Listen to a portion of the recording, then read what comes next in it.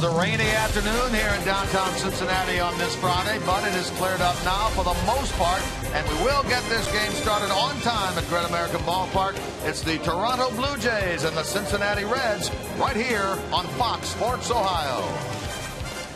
And hi, and a pleasant Friday evening, everyone, and welcome to Reds Baseball. Jim Kelch along with the Cowboy, Jeff Brantley, for the weekend series against the first place Toronto Blue Jays out of the American League's East Division. Now, Cowboy, when people talk about this Blue Jays club, most people know them as a home run hitting team, but there's more to them than that. yeah, there is, Jim, but you can't help but see the 95 home runs that this club has hit.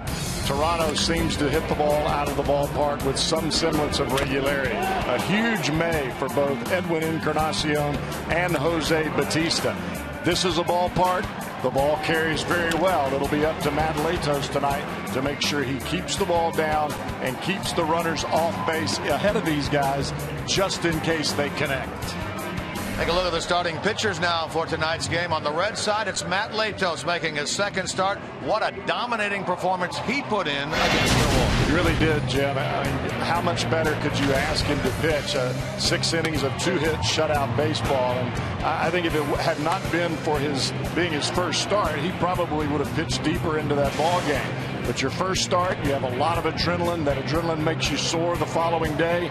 And let's face it, Matt Latos is a big part of this pitching staff. You want him out there every fifth day. That's why the short the start was cut short. Now on the Toronto side, it's a right-hander who has spent most of this year at AAA, Liam Hendriks. Liam Hendriks is a, a fly ball pitcher.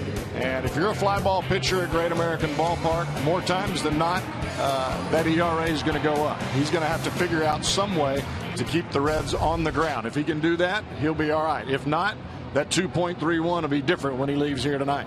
All right, as we mentioned, the first place Toronto team in town. They take on a very hot Reds team. They've won four of the last six on the road trip, and June has been a very good month for them, particularly on the offensive side. Jim Day will delve into that more when we come back.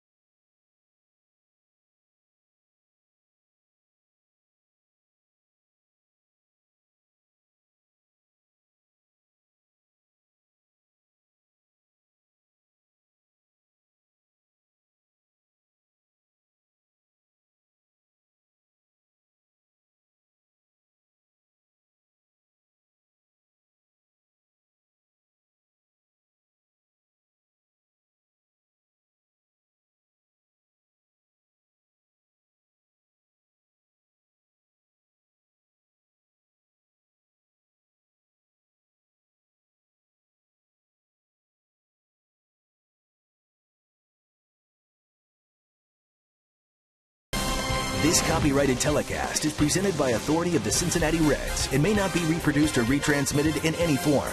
And the accounts and descriptions of this game may not be disseminated without the express written consent of the Cincinnati Reds. Well, if you're headed to the Reds game, we will have showers and thunderstorms around the area, but the line of storms should be south and east of us by 6 o'clock. Temperatures around the first pitch near 73, dropping into the lower 70s throughout the game. Let's go, Reds. Let's get a W.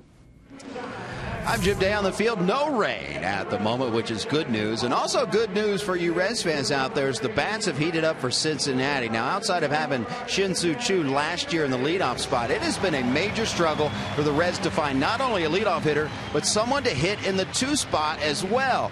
And of late, are these guys coming through? We'll start with Billy Hamilton. We could be seeing a star in the making right now. You look on his road trip numbers and a 448 average, which includes three straight three-hit games. You've got to go back to the 1950s for the last Reds rookie to accomplish that. He is not swinging at as many bad pitches. He's not striking out. He's stealing bases. And oh, can he play some defense. He's setting the table. And then Todd Frazier is coming through as well. This guy went to work with Don Long, the hitting coach. 333 average, two long ones, including that big, big home run against the Pirates. Seven runs driven in on the Reds road trip. And you can all you can single those guys out, but you can take it a step further. The entire Reds team has been getting it done. Winners of six of the last eight. You look at the National League ranks and team average, doubles, home runs, extra base hits, and runs per game, first and second over that span in the National League. With the Reds starting pitching, if the hitting continues, look out. It could be an exciting rest of the 2014 season. But man, do they have a hurdle in the way. Interleague action coming up. First place, Toronto Blue Jays and the Redlegs. First of three from GABP. And we're back after this.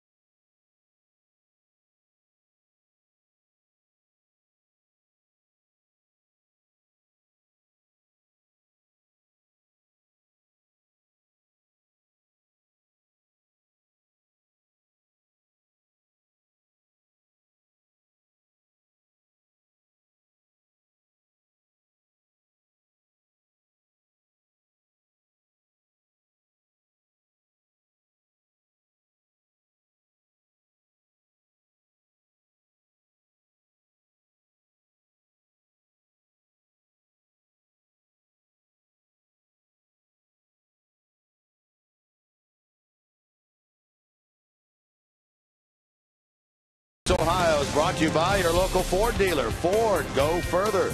By Cincinnati USA Regional Tourism Network. Stay close to CincinnatiUSA.com. By AT&T, mobilizing your world. And by Skyline Chili, feeling good. It's Skyline time. John Gibbons is the manager of this Toronto club. He's in his second stint with them. He managed them back in 05 through 07, then was fired. Now has come back, and he's in his second year, full year, since uh, returning to this club, seven overall, and he's six games under 500. His lineup card for tonight's game, presented by Meijer, looks like this. Jose Reyes, the former National Leaguer, then Melky Cabrera, another former National Leaguer, then Jose Bautista, the former Red, Edwin Encarnacion is in the cleanup spot. Dioner Navarro, the former Red, then Brett Lawrie. Colby Rasmus, the former Cardinals, in the seventh spot. Kawasaki is the eight hitter, the second baseman, and Liam Hendriks bats ninth and does the pitching on the mound for the Reds. Start number two is the big right-hander Matt Latos. Latos had six solid, solid innings, Cowboy, on Saturday against Milwaukee. He really did, Jim. And, and you look at those numbers, and the one that jumps out to me is not the not the no runs, it's the no walks. And you come back from a start uh, like Matt had in spring training, where you're on the disabled list not once but twice, and you're going through rehab. You're able to come back against a, a really solid hitting team like the Milwaukee Brewers and throw the ball the way he did. Man, that's getting it done. There are his numbers from a year ago. He was a 14 game winner with a 3.16 ERA. Unfortunately for him, his season kind of came undone there at the end when he was scratched or told at least Bryan Price, the pitching coach at the time, that he could not pitch in that wild card game due to those uh, what we found out with bone chips in his bone elbow. Chips in the elbow. He'll face Jose Bautista to get things going here tonight. And the first pitch is in there for a called strike, and we are underway. Game time temperature 77 degrees. To correct myself and say that was a ball, according to Alan Porter, the home plate umpire. Now a strike on a swing and a miss. Bautista is in the three spot. Melky Cabrera, the former Giant, in the two spot, and Jose Reyes leads things off, hitting 262 with five home runs. Earlier this month, turned 31 years old, long time Mets player.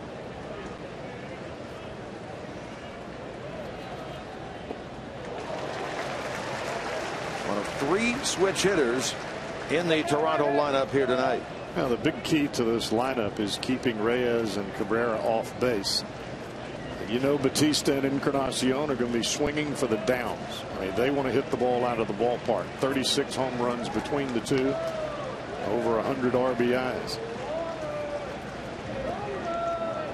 Well, there are a few Blue Jays that have faced Matt Latos in the past, even though he has not started against Toronto.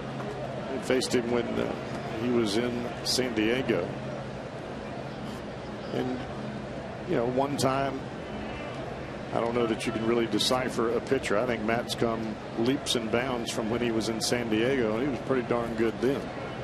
Career wise, making his 67th red start, and he gets the pop up off the bat of Reyes, handled by the third baseman Frazier, and a good start here in the top of the first. Take a look at the Reds defensively behind Matt Latos, brought to you by your Ford dealers. In the outfield, Schumaker is in left, Hamilton in center, Bruce in right. The infield is Frazier and Cozart left side, Phillips and Votto right side, a battery of Latos and Devin Mesoraco. It was Brayan Pena who caught him on Saturday, Mesoraco today.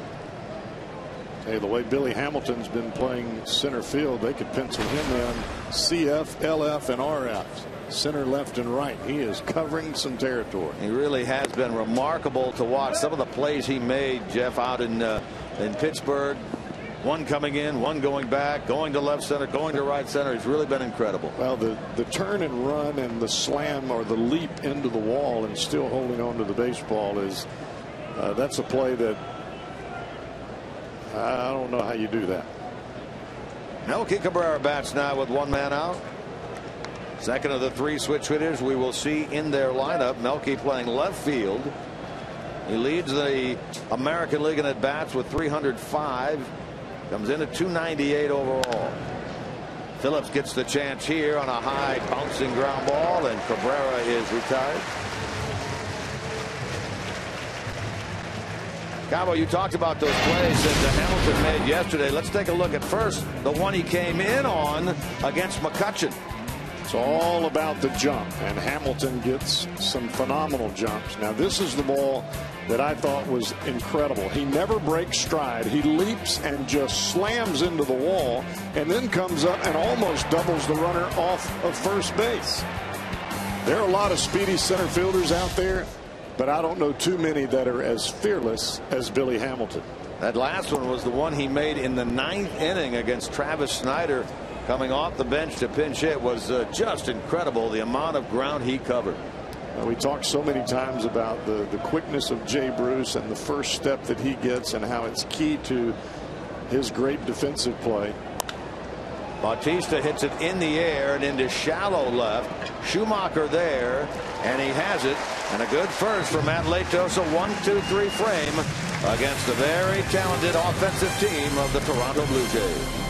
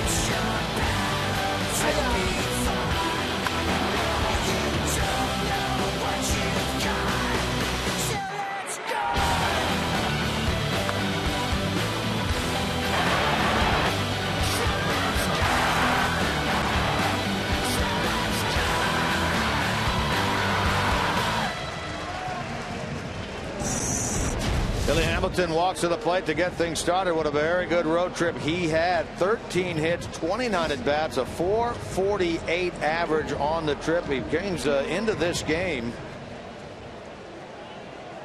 A hitting streak. It sits at uh, six in a row and eight of nine. It says eight right there. Billy, then Frazier, then Votto.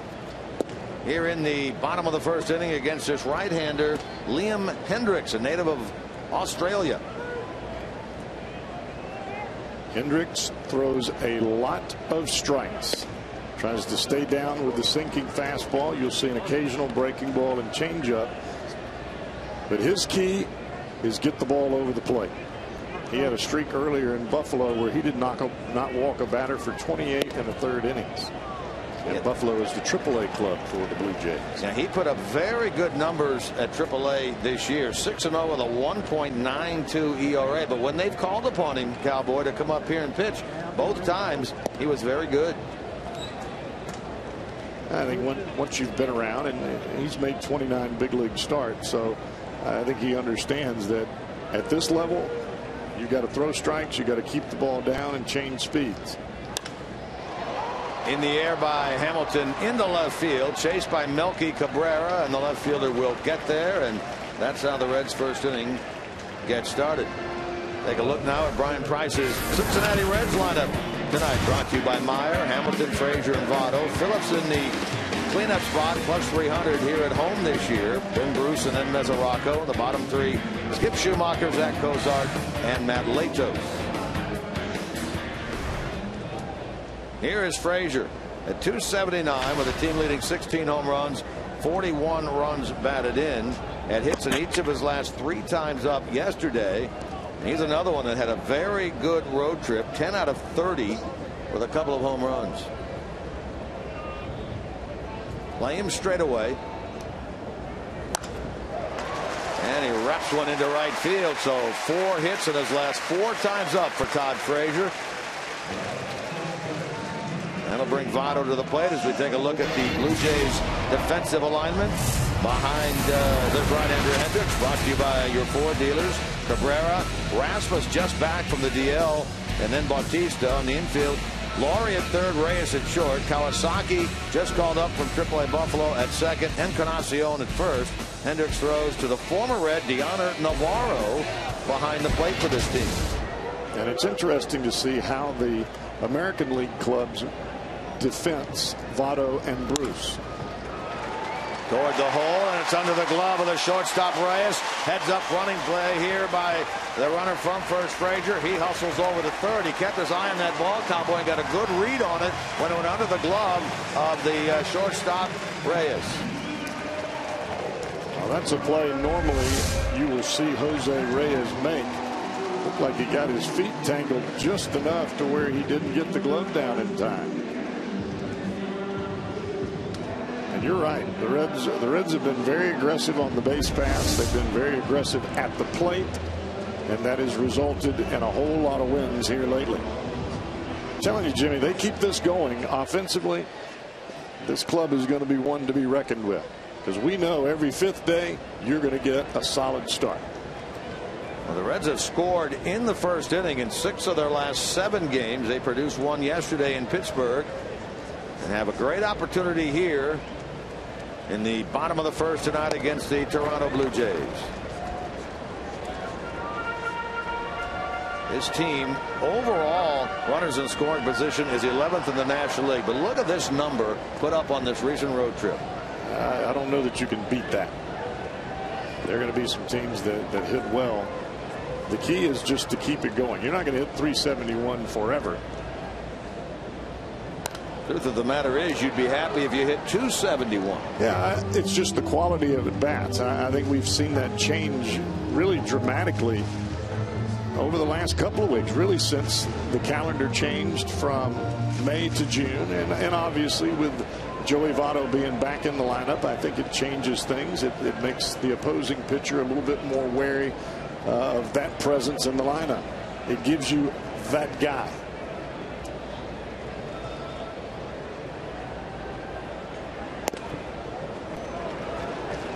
Phillips ahead now, two balls and a strike.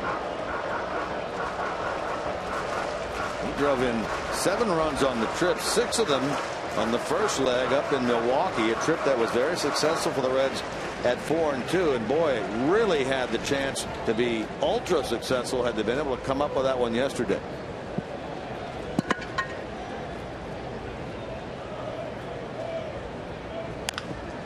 Toward third, runner coming to the plate. The Jays go to second out, go back to first out. And that's a 5-4-3 inning-ending double play. Lawrie to Kawasaki to Encarnacion ends the bottom of the first.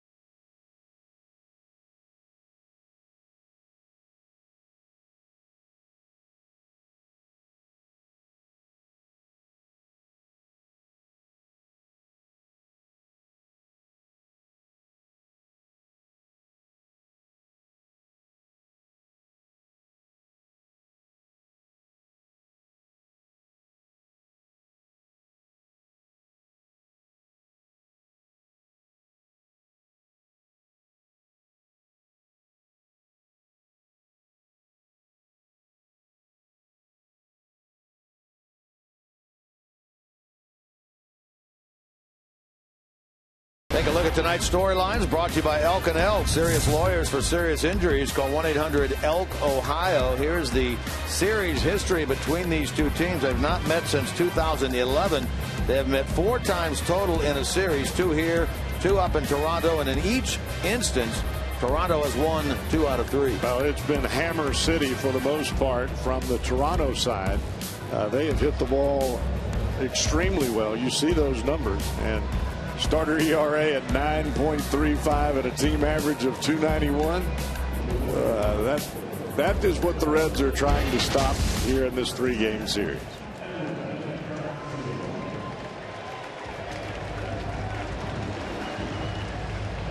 So Matt Latos back to work. He'll get the middle part of the order. And here is Edwin Encarnacion, the former Red, traded away, uh, of course, Back to the uh, over to the Toronto Blue Jays in 2010.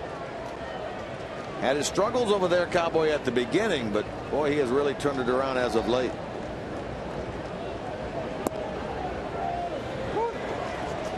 I think I think Edwin Encarnacion presents the greatest danger in this lineup because he is trying to prove even now that the Reds should not have let let him go. And it, it's just human nature. Your old ball club, you go back to play them. You want to show them, well, look what I've done. What he did in May was almost oh. major league record setting in terms of the 16 home runs he hit. He tied an American League record for homers in the month of May. Pops one up here, and it's handled by Joey Votto. Interesting to read the quotes by Votto in the Inquirer today. He said that he and Encarnacion have remained uh, very close since uh, Edwin was traded away. Well, you make relationships in that locker room that for some guys they last a day, for others they last a lifetime. Leadoff man retired. The batter now is Dioner Navarro. This guy has been in the last what four or five years of his career primarily a backup and now the Blue Jays Jeff go out and sign him to a two-year deal as their number one guy. Played with the Reds of course two years ago 2012 started the year in the minor leagues with Louisville but once he came up he did uh, a really nice well. job here. He really did a good job. Last year we saw him with the Cubs which hitter slices this one to left. That'll be handled by Schumaker. So five up, five down against Matt Latos here in the top of the second. When Matt is really keeping the ball down in the strike zone early in the count. And as big as he is at, at 6'5 and you've got the extra height of the mound, when you're throwing downhill and catching the bottom of the strike zone, it's really tough to center. Cowboy, a lot of folks were wondering and, and maybe even upset about why he left the game after six innings in the game at uh, Milwaukee in his debut Saturday, but uh, didn't surprise you. No, it didn't. And the reason it didn't surprise me is I know how much the adrenaline, how sore it makes you after that first start because you overextend. Uh, you do things that you, you couldn't do in rehab because you didn't have that same kind of big league adrenaline game situation. When the numbers go on the back of the baseball card, let me tell you something. You kick it up a whole different gear. Brett Lawrie on a ball hit toward right. Diving stop by Brandon Phillips. He knocked it down and just couldn't quite get a handle on the ball to throw on to first for Brandon Phillips. He's upset. He thinks he should have made that play. truth be told, that's a heck of an effort just to stop it from going into right. Well, it just tells you what Brandon's expectations are of himself. And it looked like that ball took a little bit of a hop on the lip of the grass. No, it just took a hop and kicked off the heel of his glove. I, I think Brandon Phillips feels like he should make every play when the ball's hit that way. And let's face it, most times he does. Well, Brett Lawrie is the first base runner of the game for Toronto. They come into this game sixth in the American League in batting average, but second in runs scored, second in on base percentage, and of course, as Jeff was talking about in our open, number one in all of Major League Baseball with 95 home runs. Here's another player that uh, Reds and Reds fans are familiar with, the former Cardinal Colby Rasmus. Rasmus only activated for the last two games. He was on the disabled list with a right hamstring strain for just over a month. And he pulls one into right. That's a hit. Lawrie will turn the corner. He'll head to third. Bruce unloads the throw, and it comes up wide. It was on a line, but to the left of third base. Frazier had to go off the bag to make the catch of the ball. Jay had a shot there as he charged the ball really well as it came off the bat. It was not hit very hard. Looked like he got in on the hands of Rasmus, and as Bruce got it, he came up firing. It didn't quite have time to get his feet set and just pulled a little wide of the bag. Well, after the first two retire, the next two get base hits, and the batter now will be the second baseman, Munenori Kawasaki.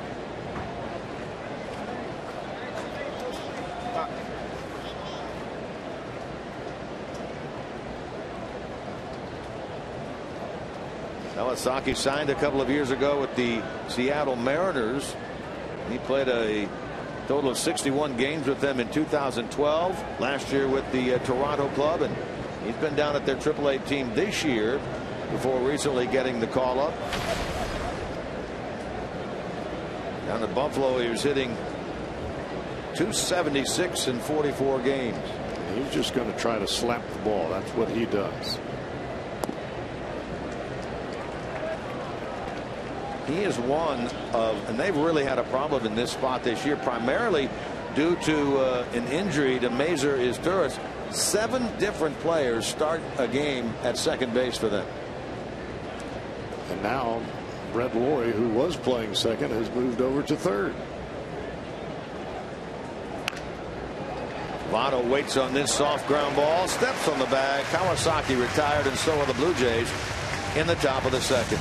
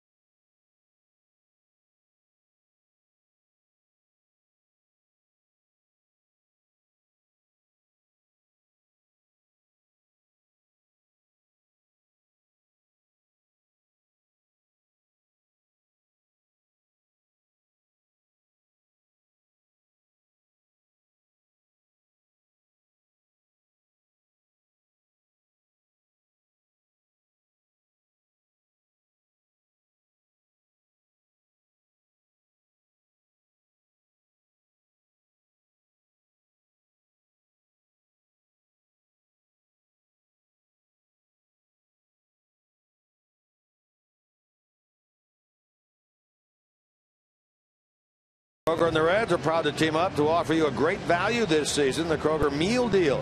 Check concession stands throughout the ballpark for the Kroger Meal Deal, which includes a hot dog, a bag of chips, 16 ounce Coke, and during this homestand, a Chobani Flip Greek yogurt. Make sure you get your Kroger Meal Deal today. Up come the Reds in the bottom of the second against this right hander Liam Hendriks, we mentioned out of Australia, Perth, Australia. Got into professional baseball here in the States back in 2007 when he signed with the Minnesota Twins. And I read a story, Cowboy, that said he signed with the Twins. First of all, he said he liked their organization and the way they treated him. But secondly, they had a lot of Australian players within the system, and he thought the transition to American baseball would be easier that way. Now, the transition is never easy. It doesn't matter if you if you have your best friend on the team. It's all about the stats. Here's Bruce to lead things off in the bottom of the second. Mesoraco and Schumaker to follow against Hendriks. 6'1", 205 pounder. Talked about those stats uh, starts he made earlier against Oakland and Tampa Bay. The last one, a quality start, two runs in six innings. Hit hard by Jay up the middle, and a base hit starts the bottom of the second.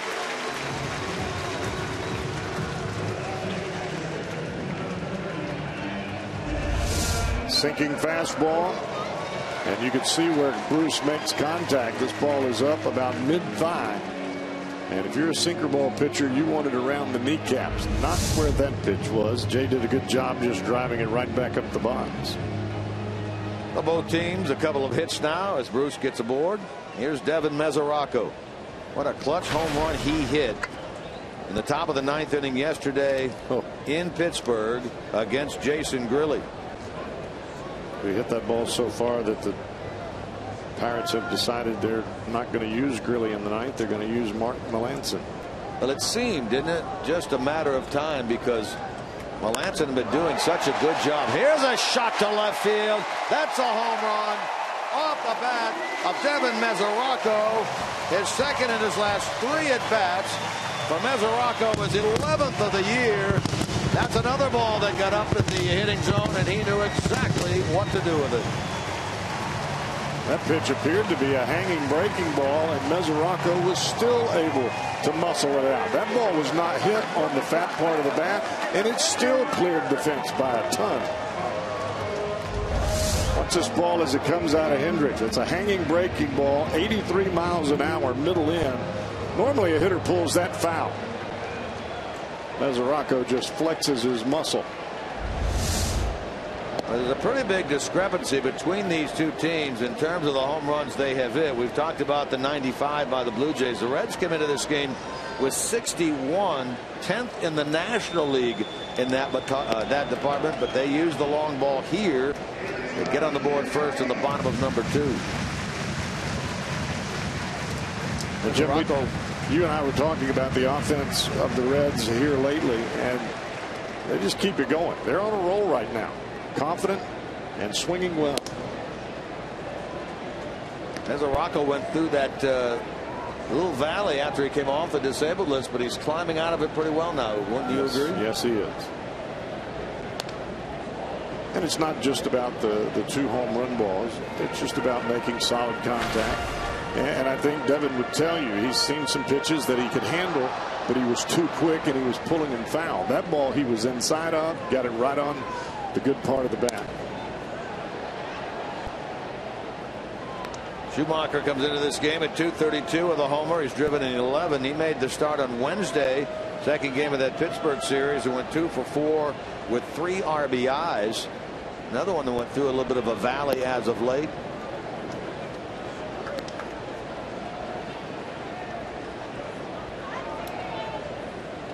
Hendriks gave up a home run ball in each of the two starts he made back in the month of May for this team, and he gives one, one here in inning number two tonight against the Red Legs.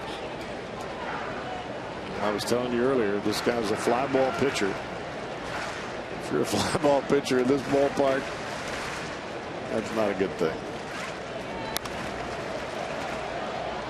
You can see where the pitches are from Liam Hendriks. He is trying to run the ball away from the left-handers in on the righties, but the ball is not at the kneecaps. It's not down where the catcher Dioner Navarro is putting the glove. That ball is up around mid-thigh, and it is very hittable.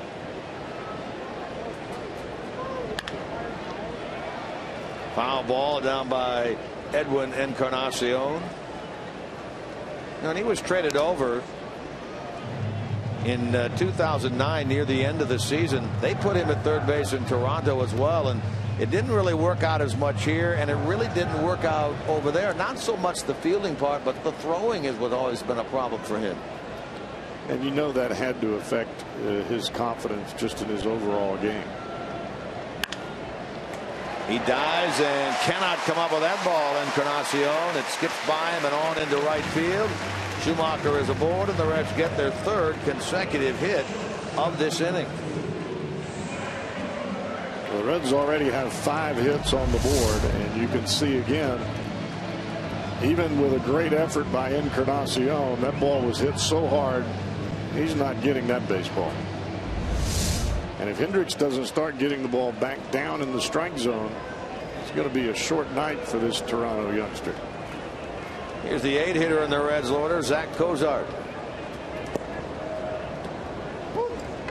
Zach, a couple of hits yesterday, had a pretty good road trip, 8 for 23 with a couple of RBIs. Brings a hitting streak of his own into this game, modest, albeit at four, but 12 hits.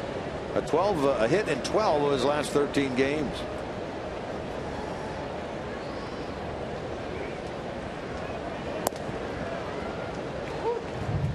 That's Alan Porter calling the balls and strikes for tonight's game. Last two pitches to Cozart are the best two pitches that Hendriks has made thus far. Down at the knees with good movement.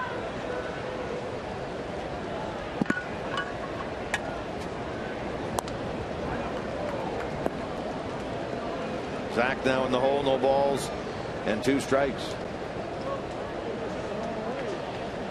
Talked about getting a hit in 12 of his last 13. That certainly has been reflected in his month of June at 286.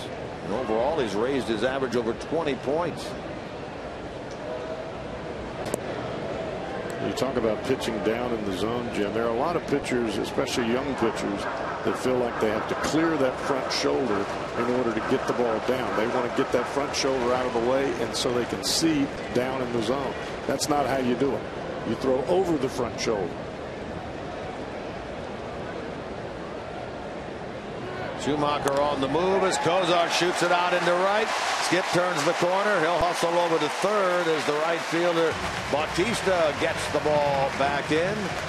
Nice job of hitting and running there by the Reds, and it's runners at the corners with nobody out, and they put four consecutive hits together. Well, you can do that with a guy that is around the plate. And coming into this ball game, we talked about the control of Hendriks, which is awfully good. He throws a lot of strikes, a lot of pitches around the plate. And when you when you've got a pitcher on the mound that's going to be around the plate a lot, you can afford to hit and run, whether you have two strikes or not.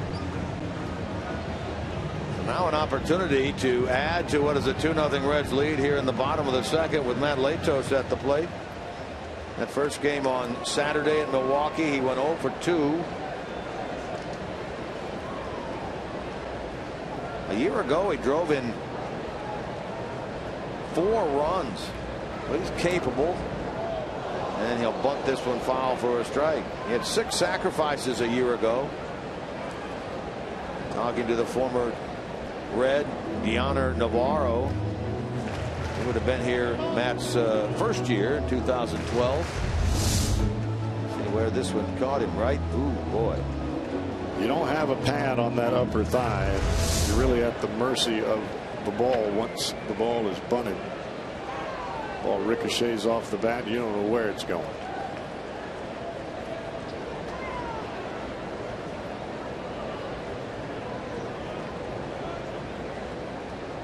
Coming in from third.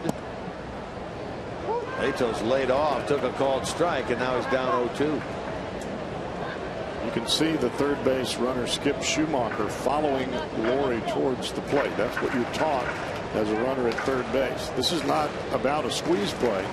But if Lawrie comes in with the base, comes in to defense the bunt, and he turns to throw the ball to first, if you follow him down the line, you can walk home.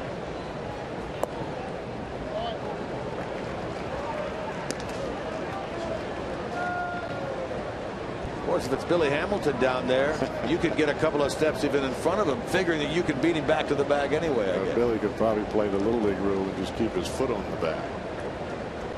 One and two now to Latos. They roll it slowly towards short. The play is at first. He out recorded there. Latos comes up with a well placed ground ball and a run batted in. That was better than a bunt. Not only did you advance Cozart to second base, but you score Schumaker.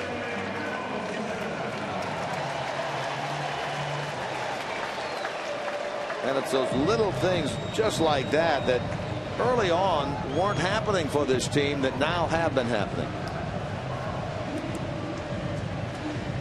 When you put the ball in play, it's very similar to being on the mound. You make a batter put the ball in play, give your defense a chance, you get outs. And on the flip side, as an offensive player, if you put the ball in play, you've got a chance to get on because the defense might boot it. More times than not, not going to happen. That ball bounces away from Navarro, allowing the runner to go to third base, Zach Cozart. That's going to be a pass ball.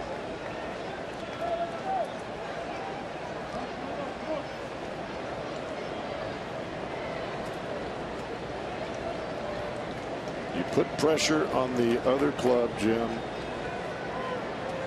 You can force them to make mistakes, whether it be on the mound or in the field of play.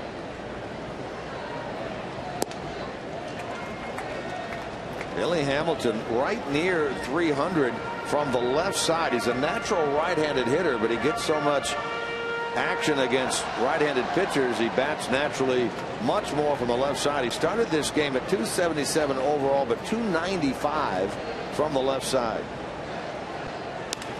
With the infield in, he pops it up. This ball has a chance, and this ball is in for a hit, and it's going to end up as a double for Billy Hamilton.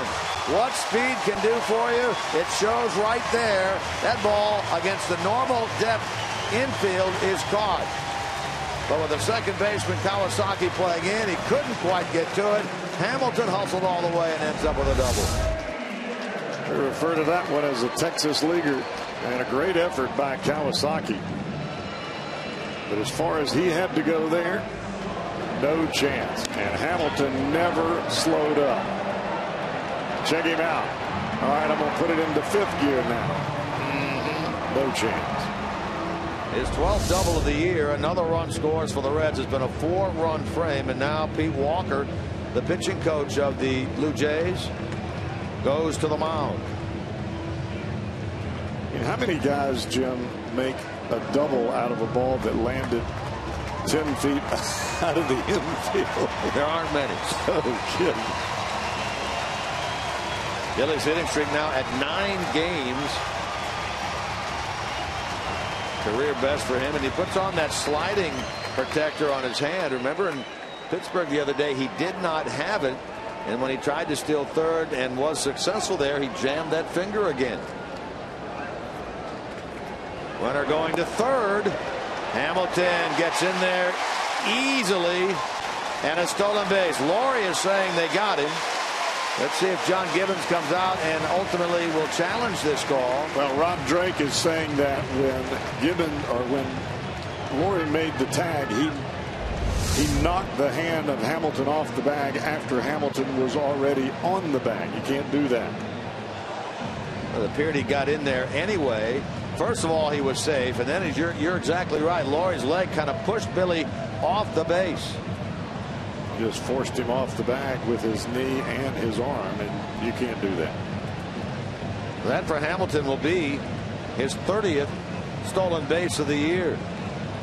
Watch the little leg kick here by Lawrie.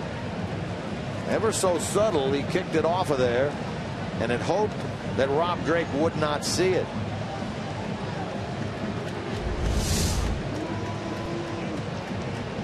Now the umpires are going to get together.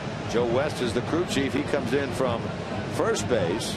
I think the key here, Jim, is was the play still in motion? Was Billy's body still in motion as he bumped off the bag?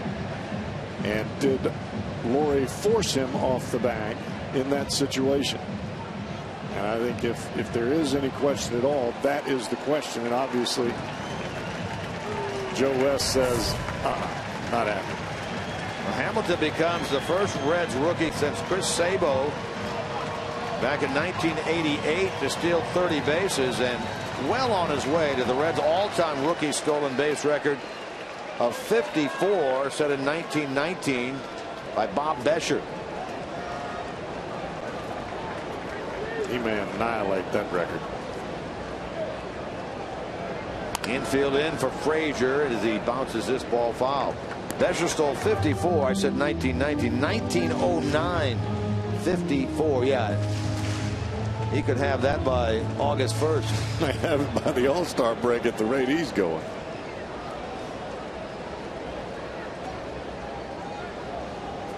RBI chance here for Todd.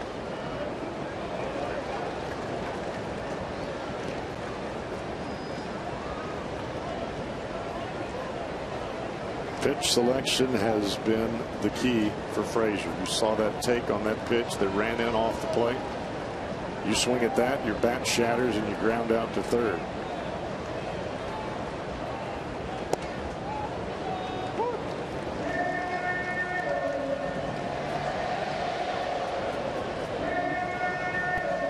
Just had a big crooked number inning in uh, Pittsburgh on Wednesday when they put seven up in the third inning of that game. They've played it four so far here with only one out and a runner at third base in Billy Hamilton.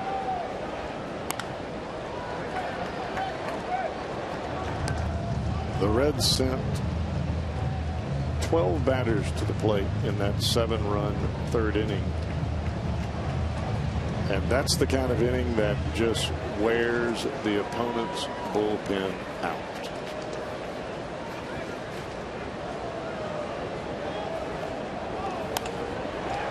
Muscled into right field. On comes Bautista to make the catch. Billy tags, but then stays put.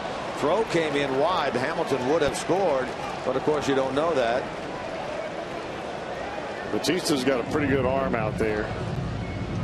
And if that throws anywhere near the plate, Hamilton would have been a dead duck.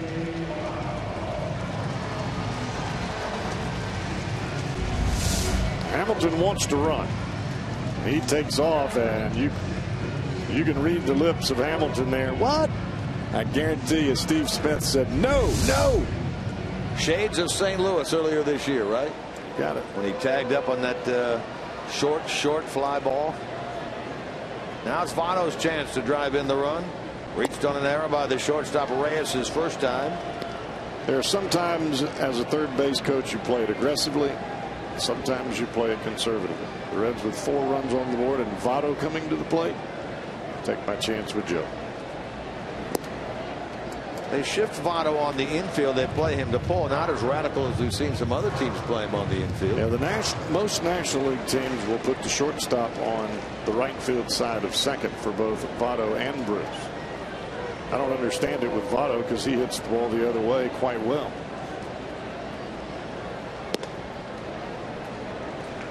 Now he'll get a look at a 3-0 pitch from this right-hander, Liam Hendriks. I let him swing right here. Lay me a fastball in there. Maybe Votto can put two runs on the board. The Australian right-hander against the Canadian first baseman. He does swing at 3 and 0. Hits it down the left field line and out of play. It's the one thing you're going to get from Joey Votto every single at bat. He's going to give you great pitch selection. And even on a 3 0 pitch, if it's not something that he knows he can get the barrel of the bat to, he's not going to swing. Hendriks ready here to throw his 35th pitch of this inning. Ouch. And he walks Votto. First walk by the right-hander. He'll face his ninth man now in the frame in Phillips. Hope you're enjoying the game tonight, and as you do, keep in mind that later on we'll have our Miller Time moment of the night, brought to you by Miller Lite. John Gibbons to the mound, and that's going to be all for Liam Hendriks. He will not get through the second inning of this game. Todd Redmond, right-hander, has been throwing in their bullpen. It's worked out well for Gibbons and the Blue Jays the first two times that Hendriks went out there, but not today as he is out of the game. Redmond comes on. This is our Skyline Chili call to the bullpen.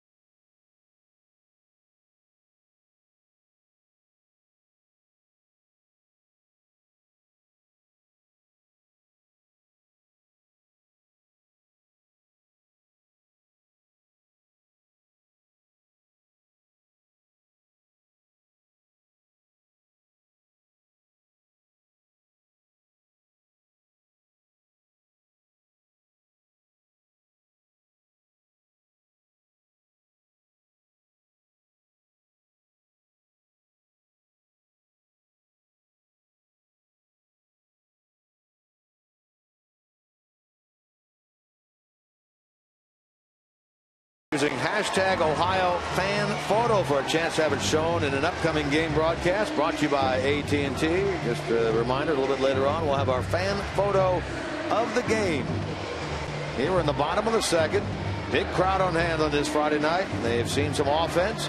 4 0 Reds as Todd Redmond, the former Red, is into the game. Has not allowed a run in his last four appearances, his last 11 innings. So he is throwing the ball as well as he ever has right now.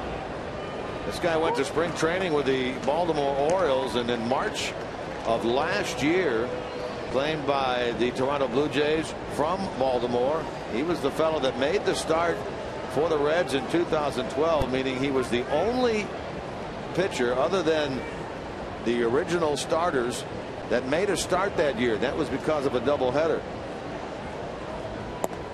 On August the 18th against the Cubs here at Great American Ballpark, he started the game and went three and a third, allowed four runs, seven hits.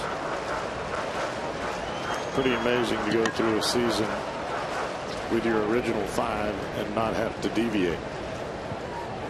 Because if not for the doubleheader, it would have been just those guys. Yeah. Out of play.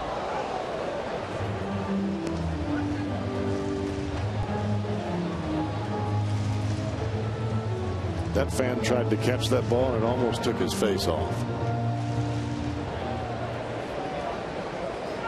So you had Latos, Bailey, Arroyo, Cueto, and Leake make 161 of 162 starts. That's two years amazing. ago. Pretty amazing.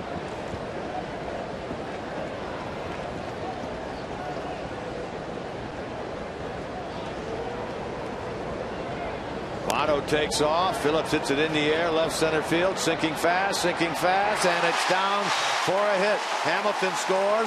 Votto racing home. He will score. It's been a six-run bottom of the second. Melky Cabrera tried in vain to get to that ball and could not do it. Phillips has himself a double. Two runs batted in. 32 on the year. And this has been a six-run second.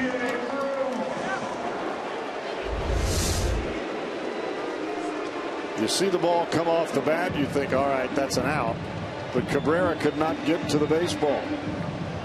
And that's what makes Billy Hamilton so spectacular as the Red center fielder. He's Hamilton is catching that ball, not having to put it on the left fielder.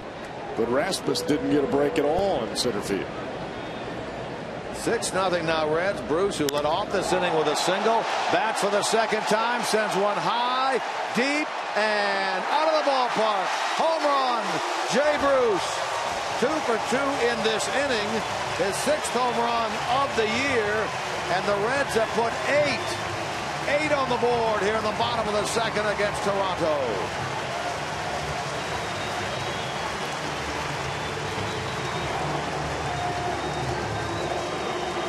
Came into the ball game thinking about the offense of the Toronto Blue Jays, and the Reds have said, "What about us?" Man, this is Hammer City.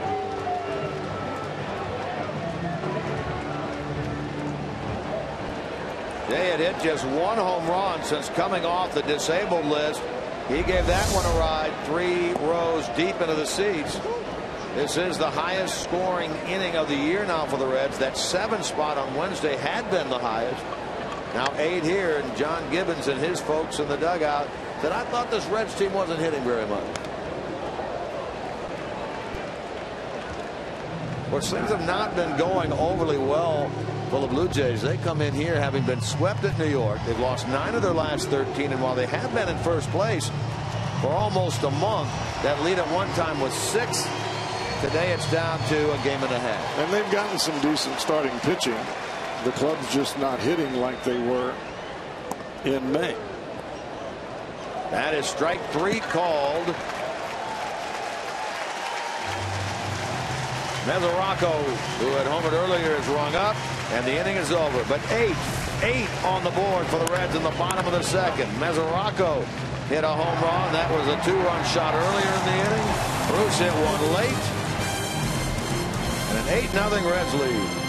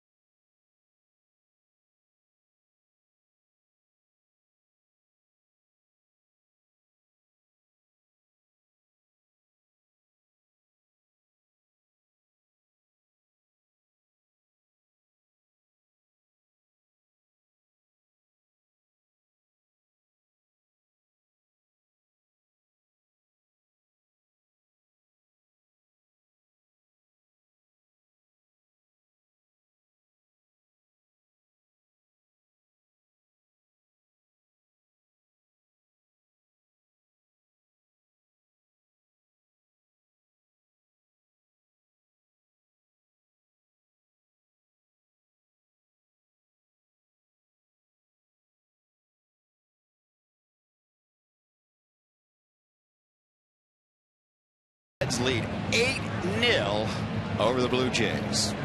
I'm Jim Day out here on the Cincinnati Bell Riverboat deck, and my pleasure to welcome in once again. She's the president and CEO of Cincinnati USA Regional Tourism Network, one of our partners. And uh, I got to thank you personally because. Uh, fourth year doing this and a new campaign this year uh, jim's day off and uh, despite me my dorkiness being in it we've gotten some good feedback from it, so I appreciate it. Oh, absolutely. You know, Jim, this is a wonderful campaign because you're a great visitor. you really are. You're a great visitor.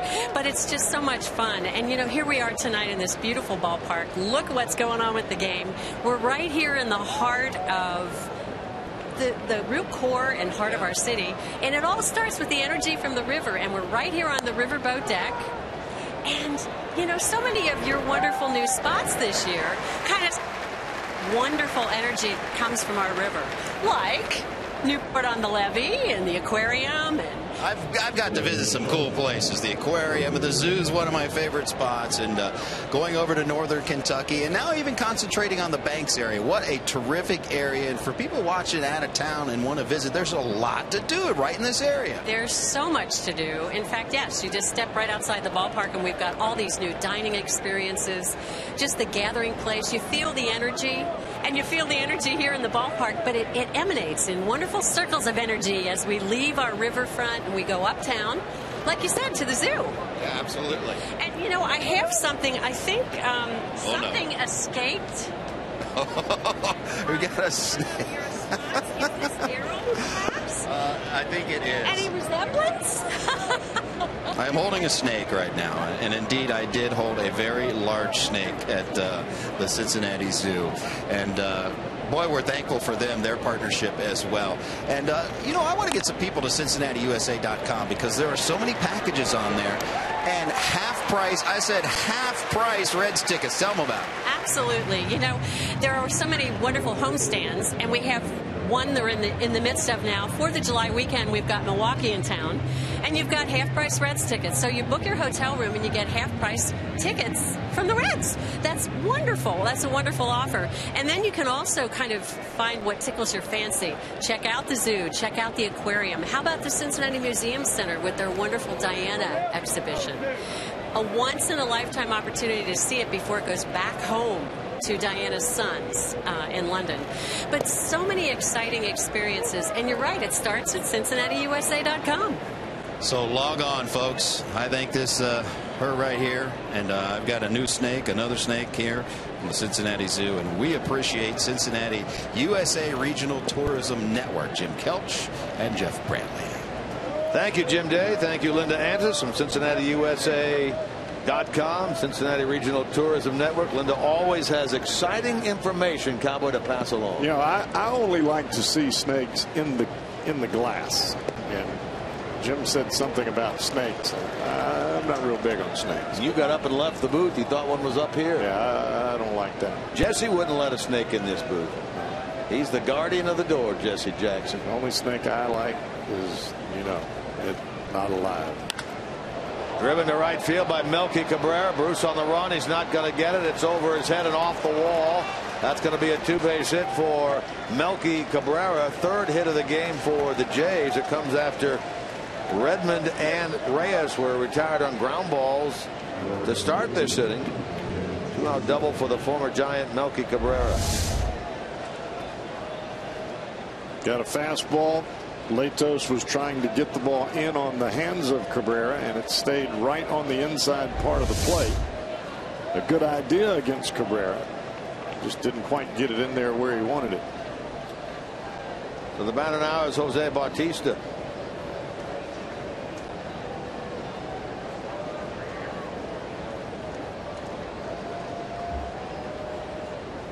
If you're a starting pitcher, you get an eight run lead you have a big inning like the Reds just had.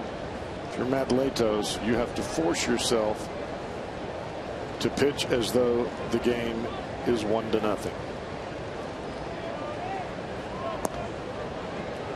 Bautista flied out his first time. You've got to keep the adrenaline up.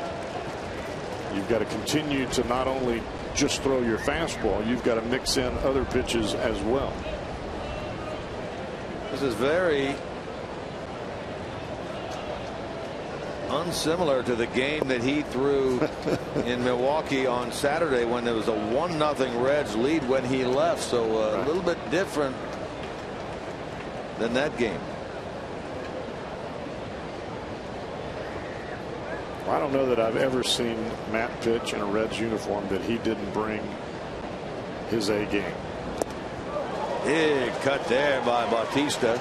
Two and one. There is no doubt every time Latos comes to the mound, he's bringing the adrenaline. He may not have his best stuff every day as he throws that ball right by Bautista. It's a tough pitch to hit. Now, when Latos goes to the mound, he's in his third year here as a Red. They win 65% of the time. Well, especially in this ballpark, he's 18 and 5, the ERA under three.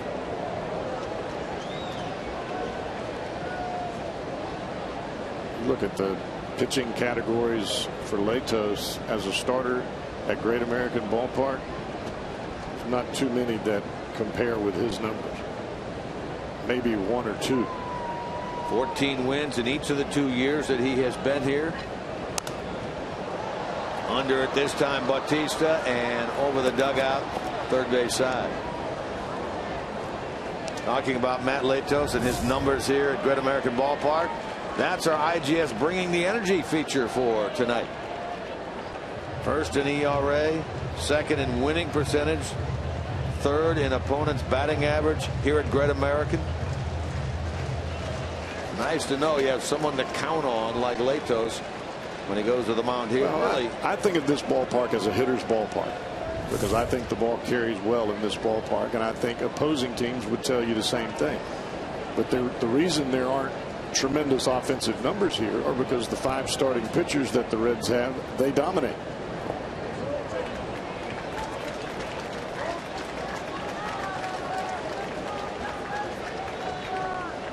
Walk issued here by Latos to Bautista is his first, and it puts two on with two out.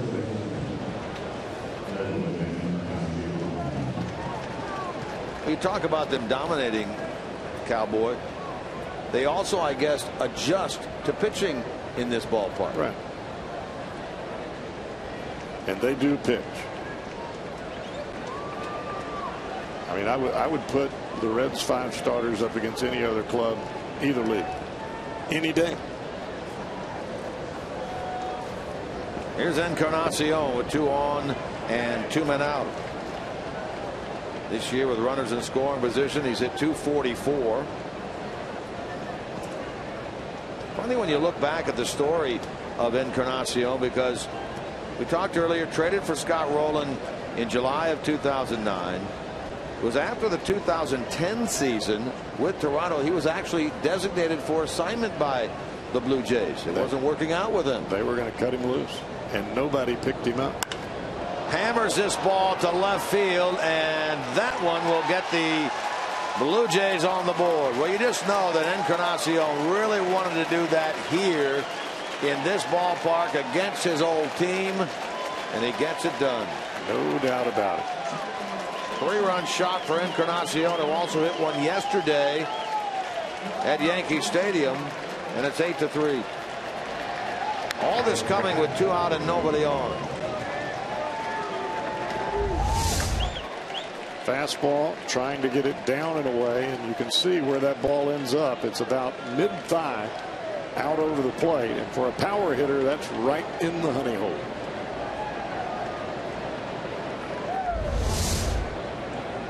Latos touched up for his first runs of the year. He actually had a scoreless stretch going. His last four innings worth of work last year. Six innings in the game Saturday against Milwaukee. So he came into this game with 10 straight scoreless innings, plus two tonight. All three runs coming with two outs. You're now with Dioner Navarro. Over takes a hop over the glove of Joey Votto and on into right. Four straight now have reached after the first two were retired.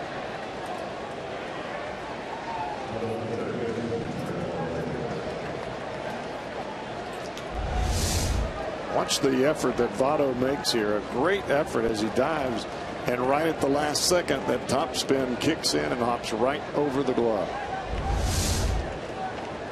You know, you can dive and catch the ball along the ground, but if you have to dive and then extend upward, that's almost impossible. That's what he had to do there. Couldn't you, quite get it. You can do it when you dive to your forehand side or to your glove side, but having to dive and, and backhand the ball, it just doesn't work. So after the Reds sent 11 men to the plate in the bottom of the second, scored eight times. The Blue Jays now send their seventh man to the dish here in the third. Brett Lawrie had a base hit, infield variety his first time on that ball he hit out near Brandon Phillips.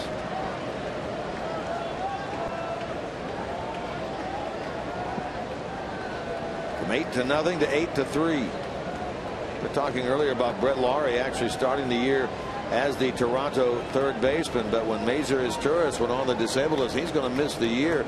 He moved over to second base. They brought in Juan Francisco. And certainly when Francisco came on immediately, he did a pretty good job for them. But it appears now Lawrie is again their guy over at third, right near the screen and on the opposite side of which Mesoraco can make a play.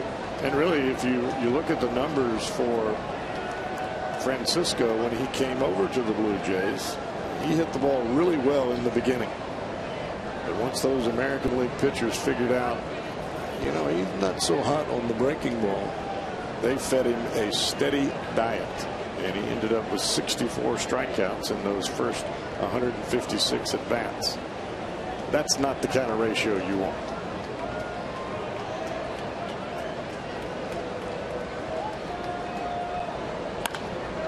Into left. That's a base hit for Lawrie. He's two for two, and now five in a row have reached against Latos after the first two were retired. Here comes Jeff Pico, the pitching coach of the Reds, out of the dugout to pay a visit to the mound and Matt Latos. I think when Matt looks back at this tape of this third inning, he's going to see where those pitches are that they're making contact. It may seem to Matt that the ball is down or well located, but it's really not down where he was early in this ball game. He was right at the bottom of the kneecaps.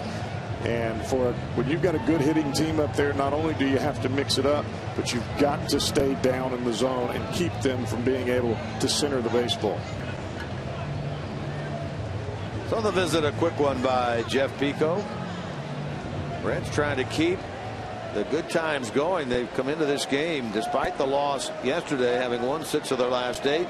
They had pushed their record to the 500 mark after the victory on Tuesday, after the victory on uh, Wednesday in Pittsburgh. Dropped one under after the loss yesterday afternoon.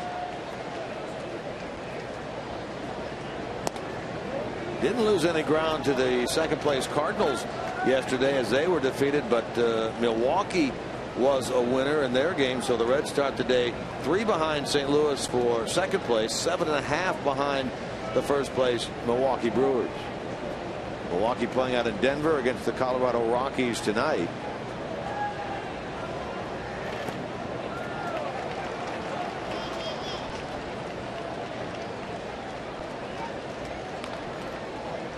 Mesoraco did not get his glove turned around on that breaking ball. It almost cost an extra base. Fortunately, it was Navarro, the catcher at second. He did not advance. You can see Devin try to smother that instead of turning the glove.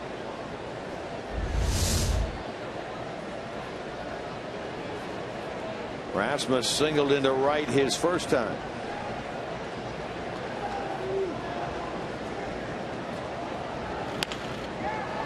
Line drive, but a foul ball. Votto trying to get to it. Joe West trying to get out of the way down there, the first base umpire. There's the crew chief. Joe trying to get out of the way. Not quite as quick as he used to be. The ball was hooking towards him. Votto ended up in his lap.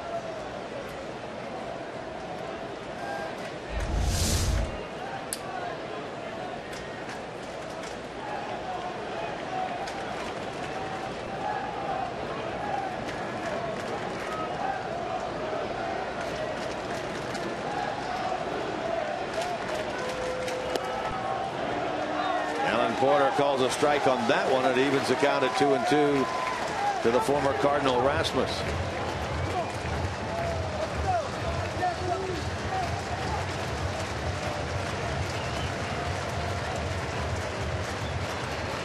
Rasmus, a former first round pick by the Cardinals, traded to the Blue Jays late July of 2011. That brought some players over to St. Louis that helped them mightily that year in the World Series. Swing and a miss on a ball down and in. Rasmus doesn't get it. First strikeout for Latos ends the top of the third.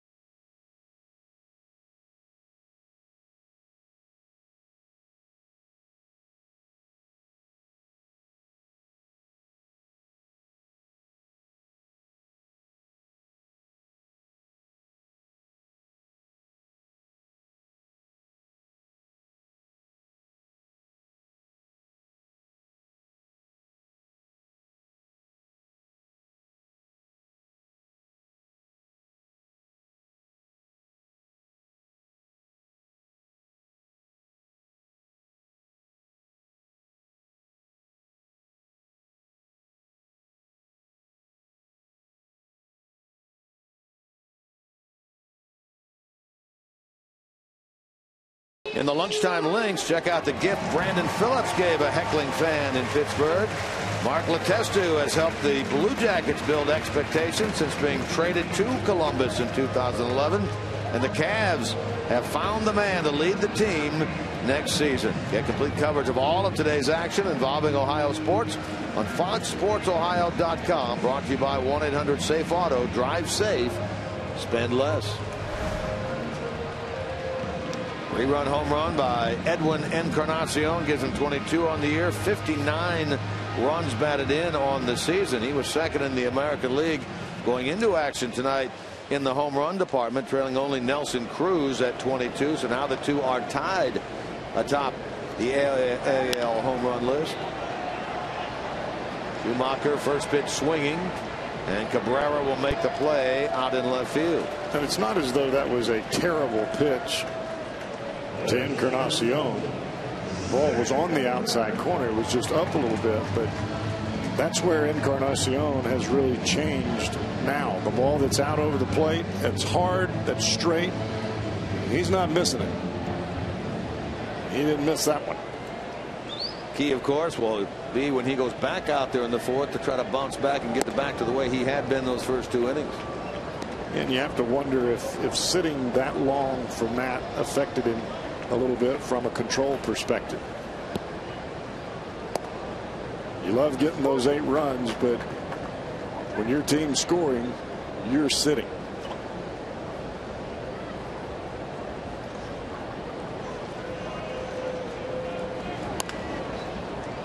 Foul ball by Cozart toward third. Well, we mentioned that the Reds scored seven times in the third inning on Wednesday. They get eight in this game. Last time they did that was uh, how long ago? Well, not that long ago. Last year, they did it April 21st against the Marlins. They scored eight runs in the second. Tonight, eight in the second again. You get two home runs in an inning that aren't back to back. More times than not, that leads to some major run scoring. Nice play down at third by Lawrie. He'll throw out Cozart at first base for out number two. Final line on the starter, Liam Hendriks of the Blue Jays, one and two thirds, six runs all earned, six hits, one walk, one home run ball. He had given up in his two starts this year three runs in 11 and two thirds. One of those starts against Oakland, the other against Tampa Bay. He gets sidetracked here tonight against the Red Legs. Tried to tell you, you're a fly ball pitcher in this ballpark, you're going to get hurt. I said he gave up one home run. He gave up two, actually. One to Mesoraco and one to Bruce, both in the second, both two run homers. Redmond got the gave up the home run to Jack. You're right.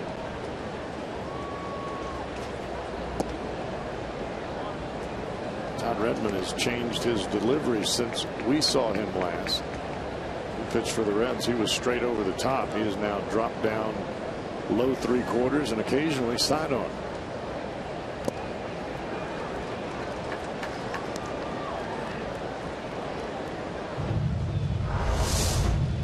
Watch Redmond as he comes to the plate.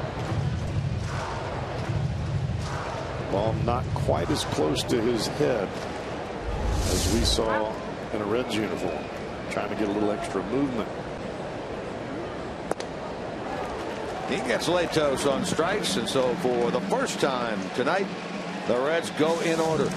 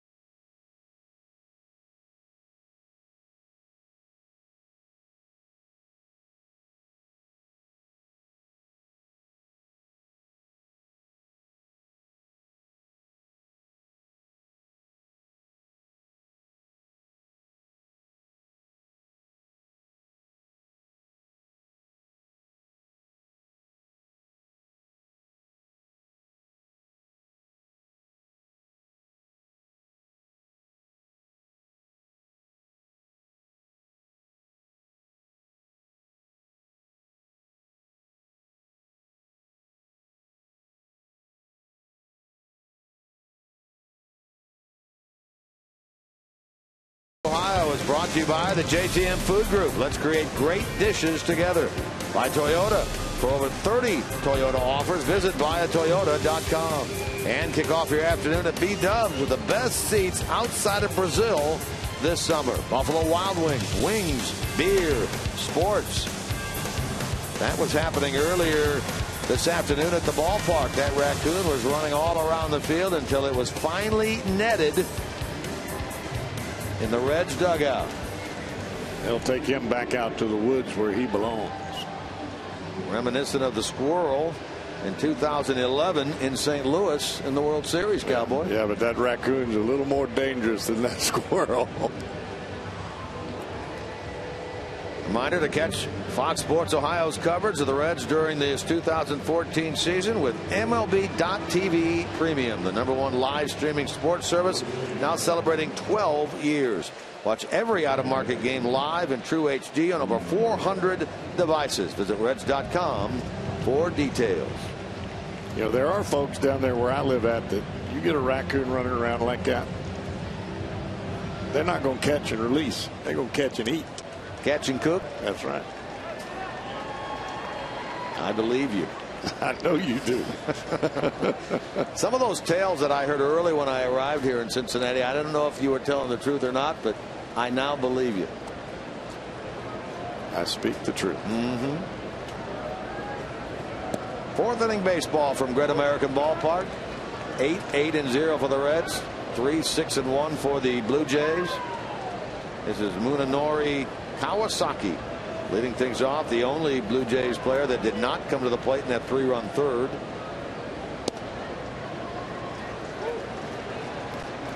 Eleven runs already on the board collectively for the Blue Jays and the Reds.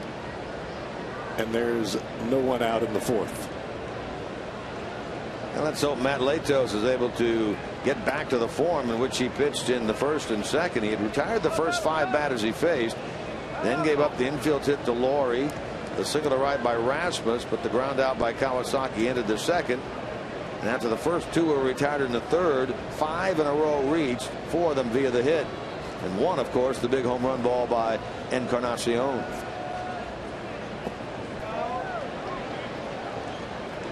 Two and two to Kawasaki.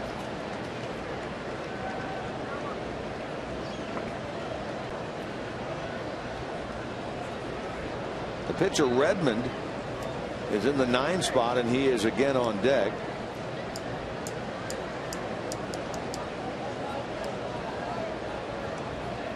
Well, I would imagine Redmond will stay in this game as long as he can go. Up and in to the Japanese player Kawasaki 33 years old.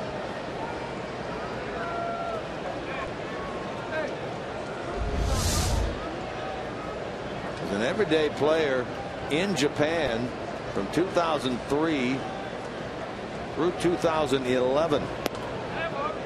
And he takes ball four here. He draws the free pass. And that leads off the top of the fourth, the second by Latos.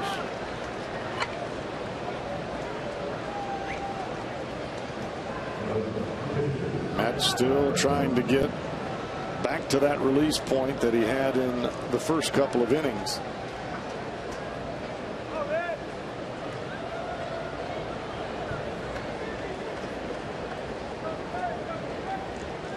Redmond bounced out. First baseman of the pitcher covering his first time. He'll show bunt here. Take ball one. Not that he'll be running here, but Kawasaki had some pretty good stolen base years when he was playing for Japan. His best number was 44 in 2009 when he was 28 years old. Pushes it to Votto. Joey, wow, he really thought about second, didn't he? And finally at the end, gives it to Phillips and gets the force out at, or gets the out at first base. Well, you like the aggressiveness by Votto, and you want him to be thinking second base, cut down the lead runner, but that was just not an available play there. Tonight's Reds fan uh, Reds fans that arrived via the Fan Express came from Calvary United Methodist Church. Here they are arriving at the ballpark tonight. Reservations for the Fan Express are filling up fast. Get on board the Fan Express. Call the Reds Group Sales Department at 513 765 7600. They get dropped off right outside the Reds Hall of Fame and Museum. Into the alley, right center field. Bruce closing. Bruce gets there. And spins around and gets it back in in a hurry. So much so that Kawasaki, who had an idea about possibly tagging, had to stay put at second. Now that's a base running mistake by Kawasaki there. He got too far off the bag. And for Kawasaki, with his speed, if the ball does get by Bruce, he could still have scored from second base on a tag.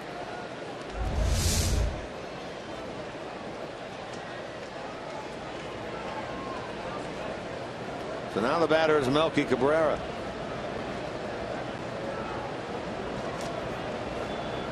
Cabrera last year signed a two-year deal with these Blue Jays in his first year wearing a Toronto uniform a year ago at 279.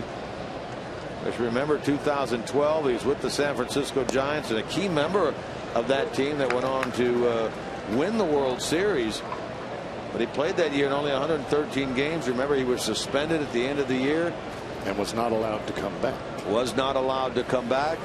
Won the batting title technically at 346, but uh, they wiped it out because of the uh, involvement, the positive test in uh, PEDs. Lifts this ball out to right.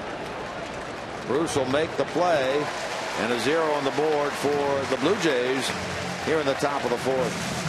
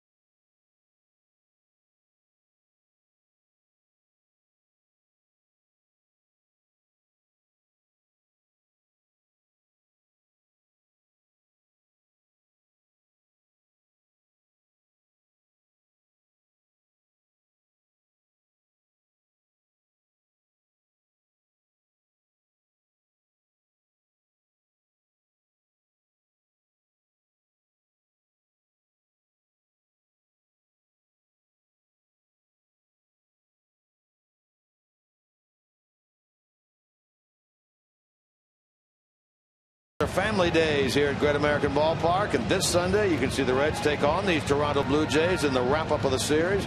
First 8,000 kids 14 and younger will receive a kids mascot magnet thanks to Delta Airlines. Plus, make sure to take advantage of the Reach Magazine family deal. For tickets, 513-381-REDS. Visit select Kroger locations or go to reds.com slash family. It's the only airline I fly.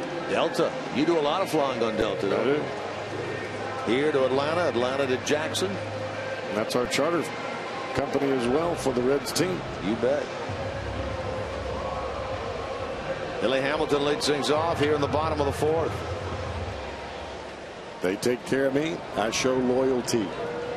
Kind of guy you are, Cowboy. Second full inning of work for Todd Redmond.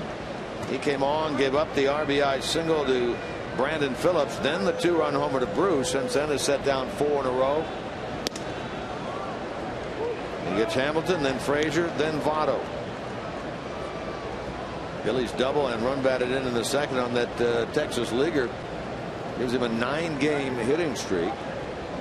Looking to become the second Reds player this year to have a double digit streak, the longest of the year turned in by Todd Frazier. He had a 14er. Actually, Mesoraco had an 11, so he'd be the third to get a double digit streak.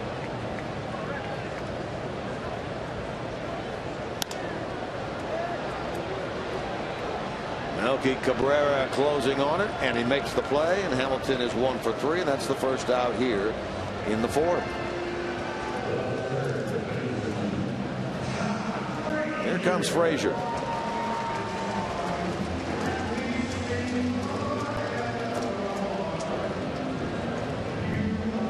We talked about the home runs that Frazier hit on the road trip. That big ninth inning blast on Tuesday that broke the 5-5 tie.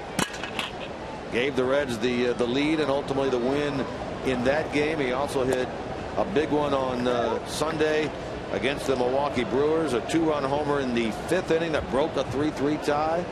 You know that, that that's the thing that that I love about guys that hit home runs in crucial situations. And it seems like more times than not, when Frazier hits the ball out of the ballpark, it's a difference maker.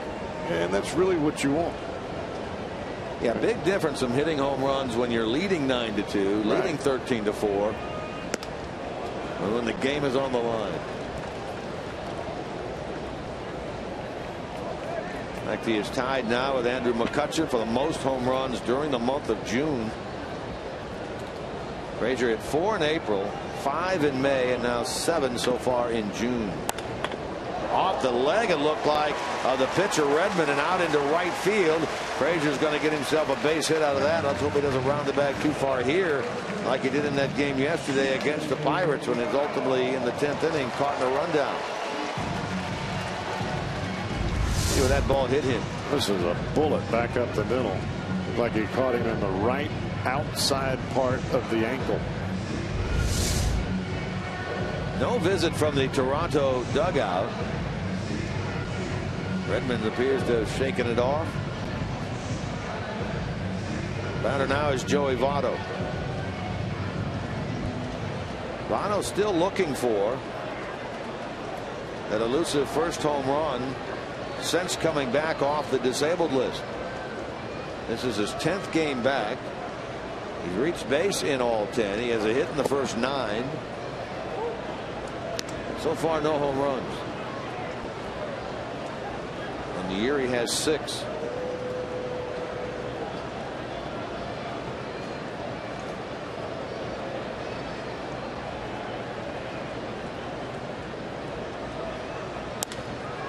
It's it hard to right field, but Bautista is there for out number two.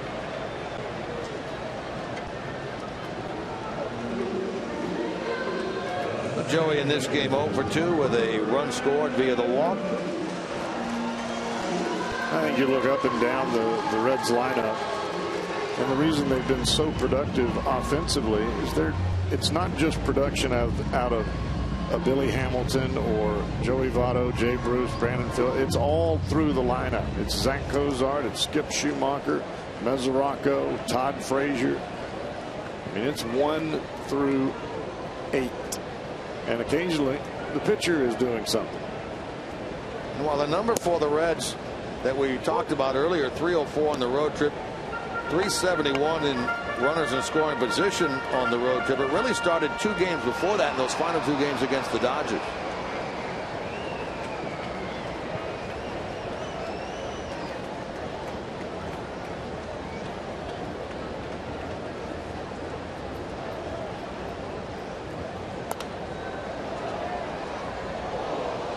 Brandon in the hole now, two strikes.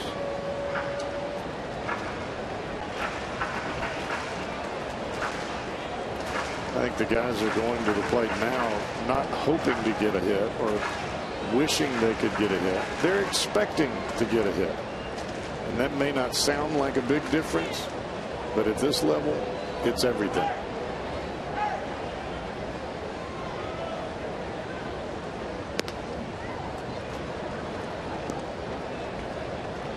Because as a pitcher on the mound, you've got to think I'm better than the guy that's standing with the bat at the plate. I'm going to get you out.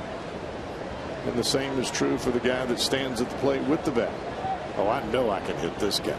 That's how you better be thinking. And that really is how it appears they are thinking now. No doubt about it. Really for the last two weeks. Very aggressive. Guys upset when they're not getting hits, even when the ball game gets out of hand and they've got a great lead.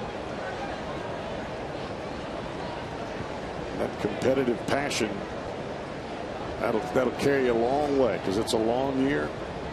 That sometimes that adrenaline and passion puts you over the top. Phillips swings and misses at a 1-2 with the runner from first Frazier on the move. Strikeout for Redmond is his third, ending the bottom of the fourth.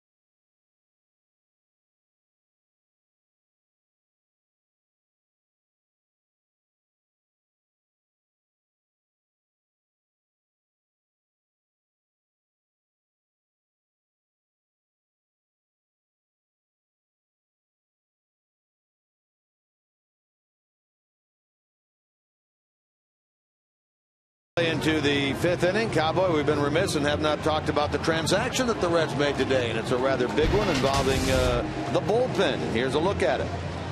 And I don't know that this is for a long time and Cingrani going down to AAA, but I think the Reds want him to start. They want him to perfect not only the curveball or slider, however you want to call it, but they want him aggressive with the fastball and, and, getting back to where we saw Tony Cingrani last year. Jumbo Diaz, a phenomenal spring training, a tremendous year for the Reds last year. And, you know, it, it's time. Uh, Diaz has made a lot of sacrifices. He's gotten himself back into great shape. And Sean Marshall will have surgery on his left shoulder. It'll be a basically a cleanup of the shoulder. It's not going to be designated for the labrum or for the rotator cuff. A technical term they're calling it is a debriding, right? It sounds worse than it is. Well, it's it's kind of like if you think about it, scrubbing the oil or the dirt off the concrete. You know, you, your driveway, you you get a bunch of dirt and oil and stuff from the car coming in and out all the time. It's very, it's like pitching.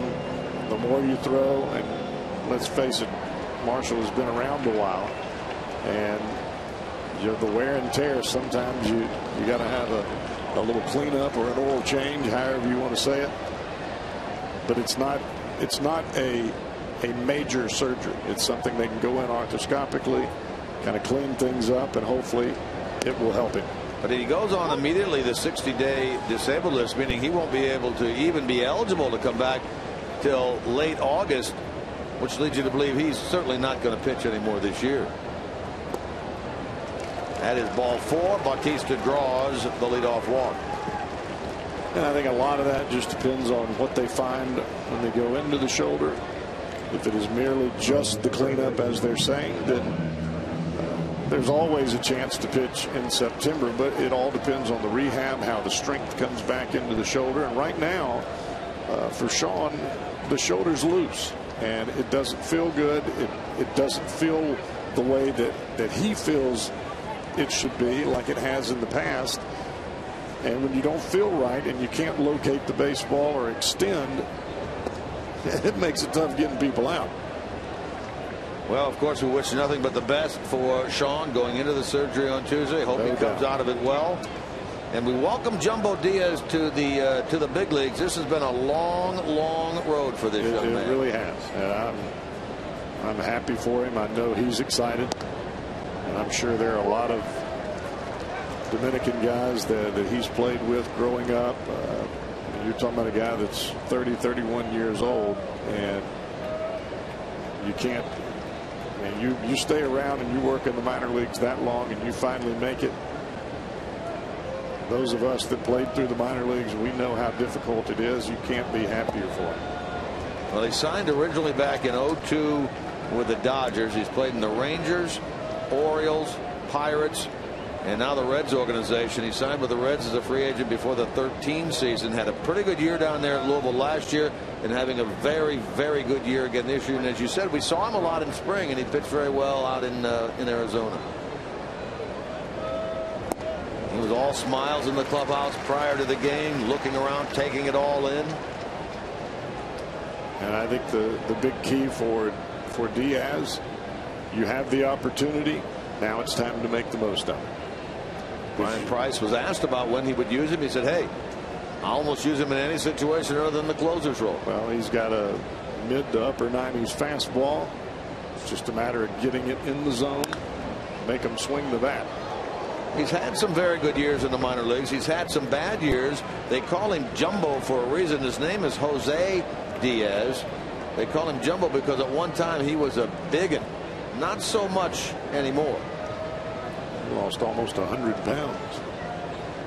And that's what I was talking about, about getting get yourself back into better shape. And he credits that with the turnaround he's had, particularly in the last couple of years. No doubt. To the shortstop. There's one. Relay. There's another double play. Turned by the Reds. It goes 6-4-3. Cozart to Phillips and on to Votto. Hit into by Encarnacion. That is a big confidence booster for one Matt Latos. You make a pitch down and away. You get a guy that just hit a three-run homer off of you into a double play. Puts you back in an awfully good frame of mind. So each team has turned to double play in this game. The Reds actually came in to today last in the National League in double plays turned with only 48. They get one there. Now here's the former Red Dioner Navarro.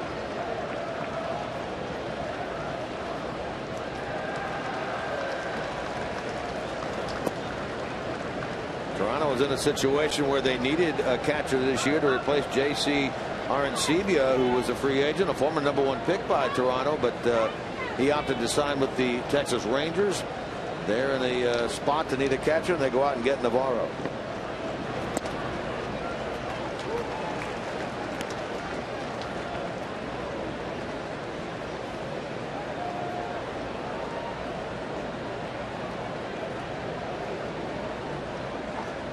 This game, Navarro was lined to left, single to right.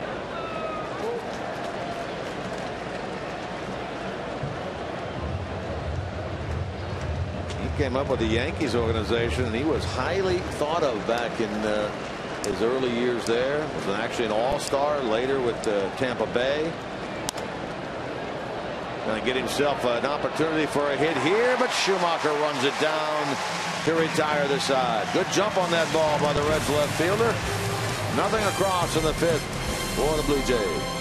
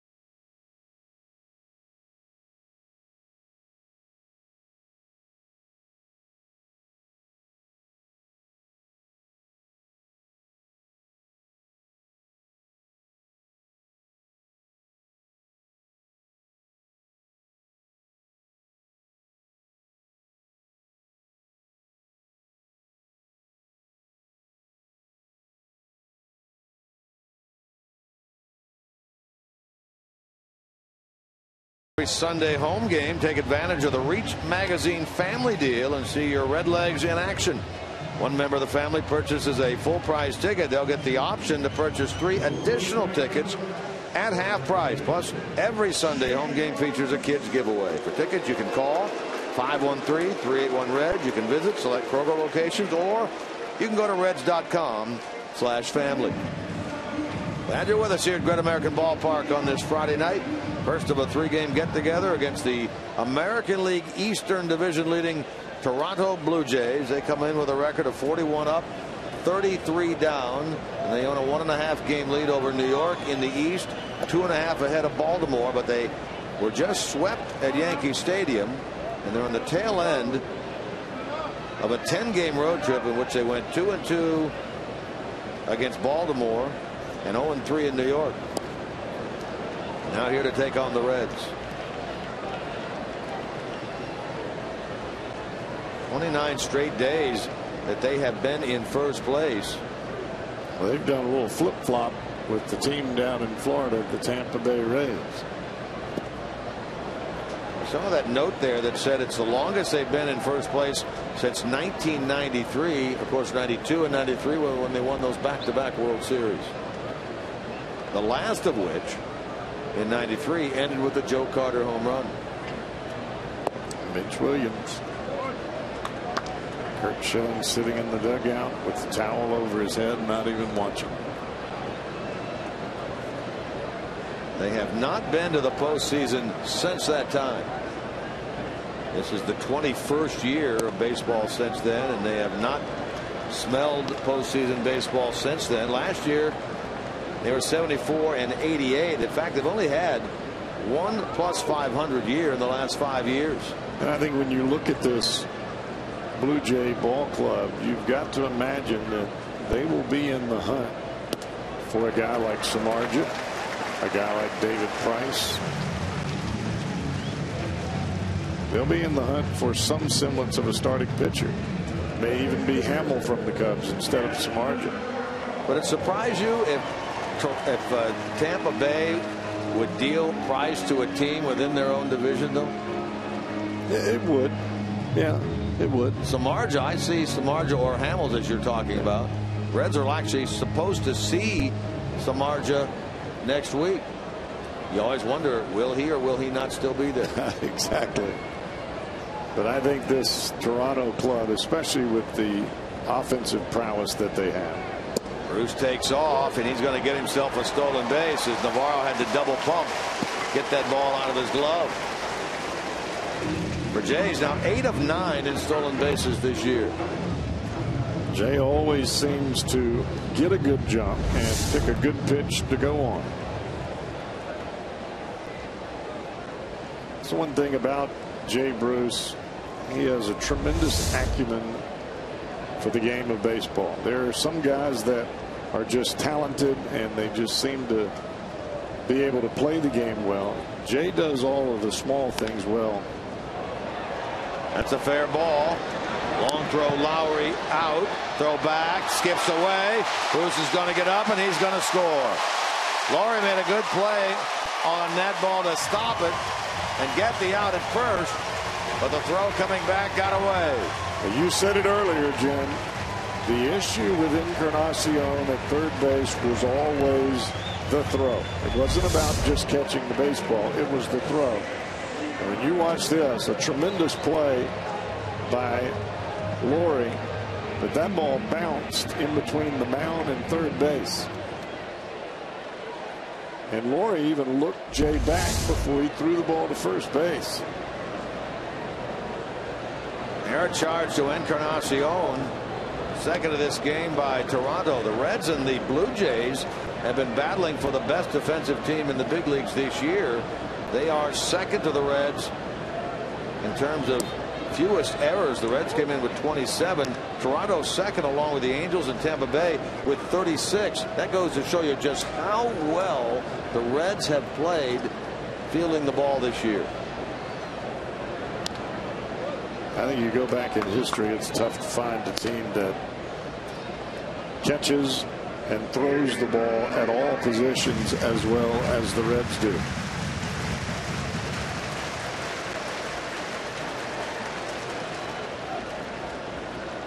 They had a stretch earlier this year. They went 10 straight games without an error, talking about the Reds, and they're on a current streak now of nine straight games without an error.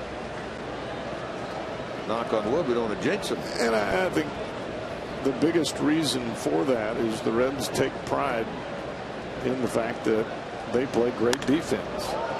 Smash to the right of the second baseman. Kawasaki comes up with it. Schumaker is retired. I mean, a big league club normally is is good defensively, but I think you could put the, the Reds in a category of great defensively. And the first knock that anyone will say when you talk about Reds defense is they don't turn a whole lot of double play. Well, they've got a starting staff that strikes out the world, and that has a little something to do with it. Cozart with two men out. See that sign to the left of the screen there. Says Hamilton Bobble, July the 12th. Here's a guy who's played half a season in the big leagues. One half season, really technically not even a half season yet this year. And they've already got a bobblehead set up for him. That shows the impact that he has had on this team. Big time excitement. I think folks come to the ball game. They love to see Billy Hamilton in the leadoff spot and do his thing throughout the game. The game starts with an exciting player on the field or in that leadoff spot.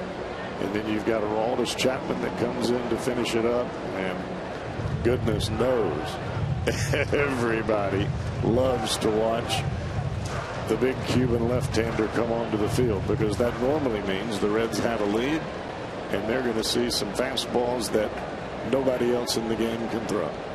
Well, we just saw Billy sitting there in the dugout 30 steals second in the league nine game hitting streak now started the day at 277 evaluate his season in terms of has he done what you thought he would do? Has he underperformed what you thought he would do? Or has he done better than you thought he would do so far? He's done better than I thought he would do. I if agree you, with if you. you had to ask me if Hamilton hits 250 in June, would you be happy in a 30 second minute?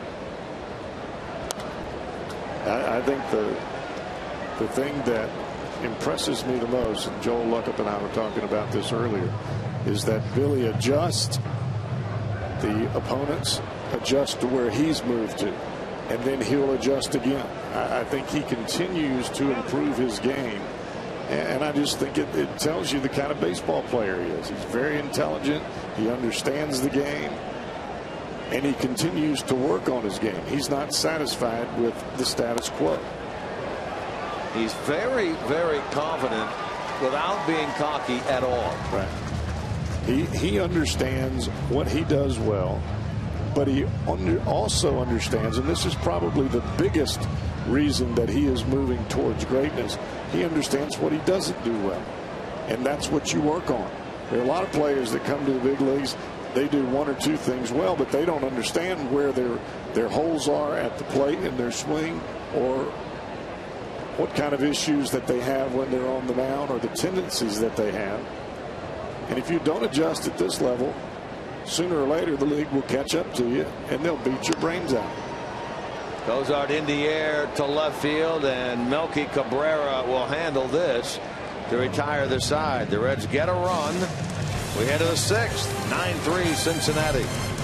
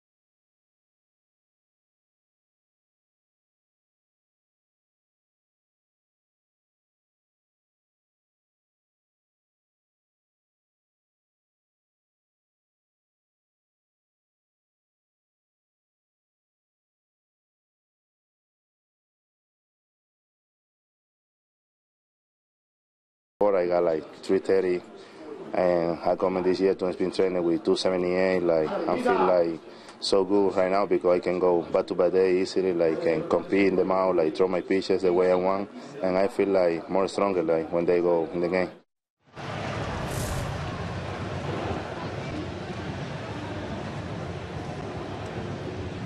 On there, there we go. Hello, everyone. I'm Jim Day. Uh, after 12 minor league seasons, 340 minor league games, indeed, Jumbo Diaz is in the major leagues. And I tell you what, he was just talking about his weight there 330 pounds at one point last year and down to 278. He talked about it he wasn't even able to go back to back days, and now he can go two innings. It's a whole new Jumbo Diaz. And guys, I've been around this game a long, long time, and I'm not sure I've seen a clubhouse more excited to see a guy come up from the minor leagues than Jumbo Diaz. He's been in five different organizations, and even on Twitter today, his former teammates were celebrating Jumbo Diaz coming to the major leagues. The guy's always got a smile on his face. He says he's always happy, he's always thankful, and his locker was unbelievable with the amount of players around it. They are happy just as much as he is. Well, you know, you see a guy like that who spent all that time in the minor leagues, and you're thrilled for him to uh, to come up here. We've been talking about him really for a couple of weeks. He's been doing so well down there. There have been pitchers that have been a little shaky, let's face it, up here on occasion. And you look down there, you see the numbers that Diaz has put up, and you think, let's get this guy up here. Let's give him a shot. You know, it, it's always nice as a big league player when you've been around for a while to see a guy come to the big leagues that you know has really, really had to grind it out. Because we all have to fight for it to get here. But once you're here, you kind of forget about that a little bit. And I think that is one of the reasons that all of the players were so happy for Diaz because they remember what it was like to try to get here. You're riding the buses, you're playing in uh, stadiums all over the country and in minor league fashion. It's nothing like playing at this level. But I'll say this a guy like Jumbo Diaz can really give a team a boost. Very similar to what we saw with Yasiel Puig and the Dodgers last year. You get a guy up that's in the big leagues for the first time, man, it, it, it almost rekindles that young energy. And it kind of takes the the monotony of the day to day out because you're so happy for an individual coming to the big leagues. I'm not saying this game is going to stay this way. It very well could. It's a 9-3 lead for the Reds now as the leadoff man Lawrie strikes out. But would this be the kind of game and an ideal situation that you'd like to get Jumbo into? Yes. Yes. And I would imagine that if it does stay the way that it is right now, uh, you may see Diaz come in after Matt Latos. I guess in an optimum situation, you want to get these guys in, particularly when they're going to come in and make their debut as soon as possible so they don't have to sit around and keep thinking and about think it. about it. How long did you have to wait before you were called up before you got into the game? Called up, pitched the next day. So not like today, but the following day. Yeah, I, I flew into San Francisco when I first got called up. We flew to Atlanta that night. I pitched that day. So you had to wait one day. You sat not, e not even that. In your very first game? My very first okay. game, I okay. pitched. So that would be like Diaz getting in tonight. Yeah, because I when I got called up, I wasn't put on the roster that day. They wanted me there in Atlanta, or in San Francisco, because we were flying to Atlanta that night. That gotcha. was, we were at the end of a homestand, and when I got to the big leagues, I basically just took my suitcase that I brought from Phoenix and put it on the plane. I didn't even unpack. Rasmussen in the hole one and two as he tries to bunt that ball. And I'll tell you this, Jim. I pitched in Atlanta that day. I don't remember a whole lot about that game because I was so nervous. Matter of fact, I was so nervous I couldn't even spit. I remember you saying that when you went to the ballpark in San Francisco to leave that day, and when you were in the ballpark in Atlanta and you walked onto the field in your uniform, first time ever. You'd never been in a big league ballpark never, before. Never been in a big league ballpark. And all of a sudden, not only am I in a big league ballpark, I'm in Atlanta, a team that I grew up watching on TBS. Sure. And you're living the South. That that's on all the time. And well, they were America's team. Yeah. Back in those days. I thought I was going to hyperventilate. Toward the alley in left center field. This is the second hit of this game for Rasmus. Schumaker cuts it off, but Colby Rasmus Going to get himself a stand-up double. That is the seventh hit of this game now for the Blue Jays. Looked like a changeup, an off-speed pitch that was up in the strike zone. That's the only time that Matt has gotten hit is when the ball has been elevated. Mentioned Rasmus. He has been on the disabled list. He had a right hamstring strain activated on the 19th. Actually activated two days ago. This is his third game since being activated from the DL. He now has five hits and 11 at bats in those three games. And I think as we saw in the beginning of the season back in April, all of the starters, the regular starters for the Reds, that second start was a major grind. You're so sore from the first start uh, the fatigue of the body after all that adrenaline and overextension. And I think we're seeing a little bit of that from, from Matt here tonight. You just push through it. Uh, you continue to try to make pitches. It may not be the greatest start, but you try to win the ball game.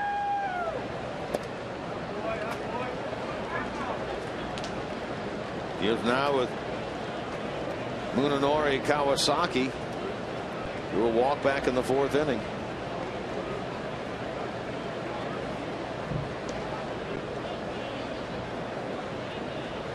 Reds thanks to an eight run second inning their largest single output of the year lead nine to three.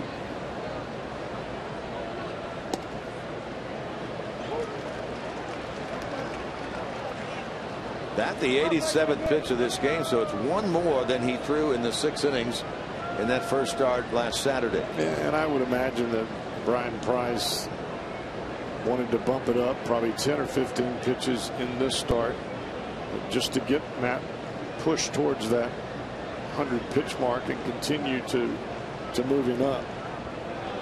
Well, he's due up first in the bottom of the sixth inning, and I guess it depends a lot, or does it, on how the rest of this inning goes as to whether he bats or not. Well, I, I would say that this is probably Matt's last inning, but I think Bryan Price would like to get him through this sixth inning, uh, especially with the lead that, that the Reds have. And going back to the overextension of the bullpen, not only in the extra inning game, but the other two games there in Pittsburgh.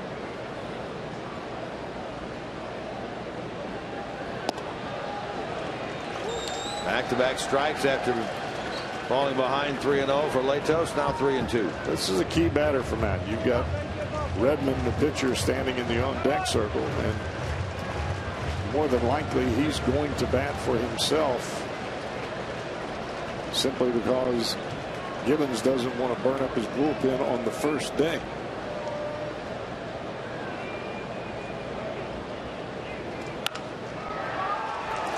Base hit into right by Kawasaki will send the runner over to third Rasmus. So back to back hits by the Blue Jays. Pitcher spot was due up. And with two on and one man out, they will not now send Redmond to the plate. Instead, they will go to the bench, and Adam Lind, an infielder, will bat for Todd Redmond. And I think if you're Gibbons, if Kawasaki makes it out, you don't do what you're doing right now. But with a chance of a guy coming to the plate that could hit a three run home run and put you right back in this game, you take your chances. Reds now have double barrel action out in the bullpen. Lefty Manny Parra, right hander Logan Ondrusek up and throwing under the watchful eye of Mack Jenkins.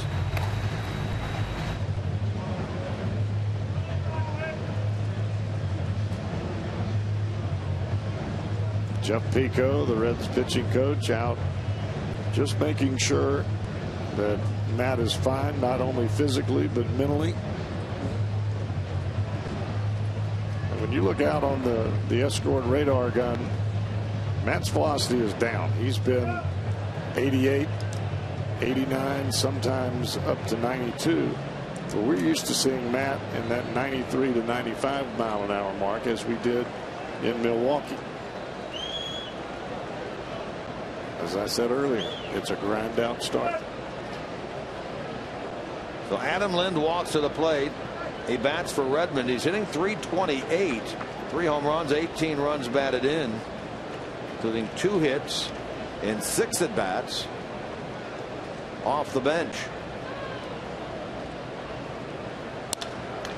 And he strokes a base hit into right. Rasmus will score. And it's a 9 to 4 game.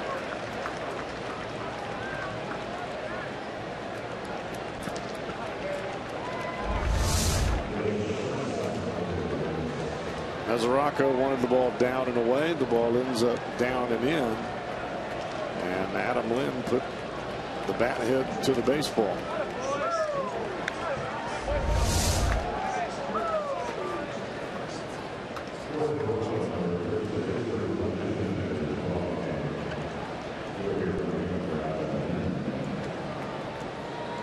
Hutchison, who's a starter for the Blue Jays, is now taken over at first base as a pinch runner for Adam Lind. This may be Matt's last batter.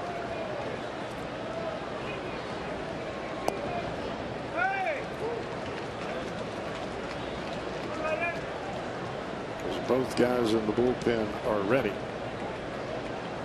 Melky Cabrera in the on deck circle.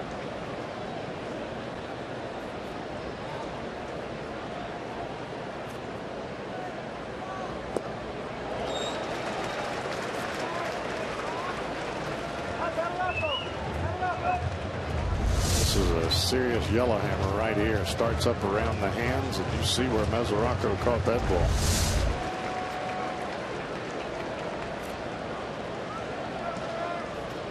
Houdini pitch.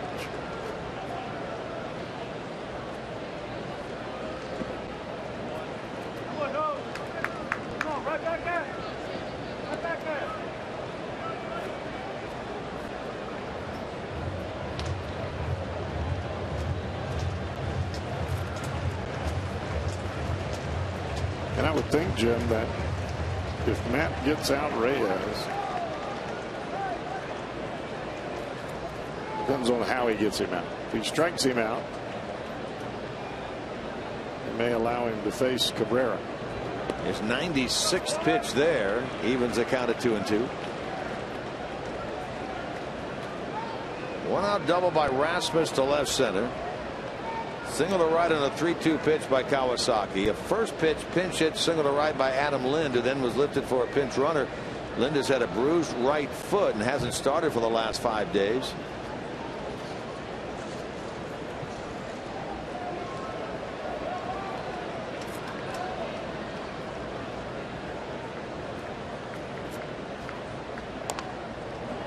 toward the mound and on to first for Latos. He had a play there at second base. Yes, he did. So the runners move up.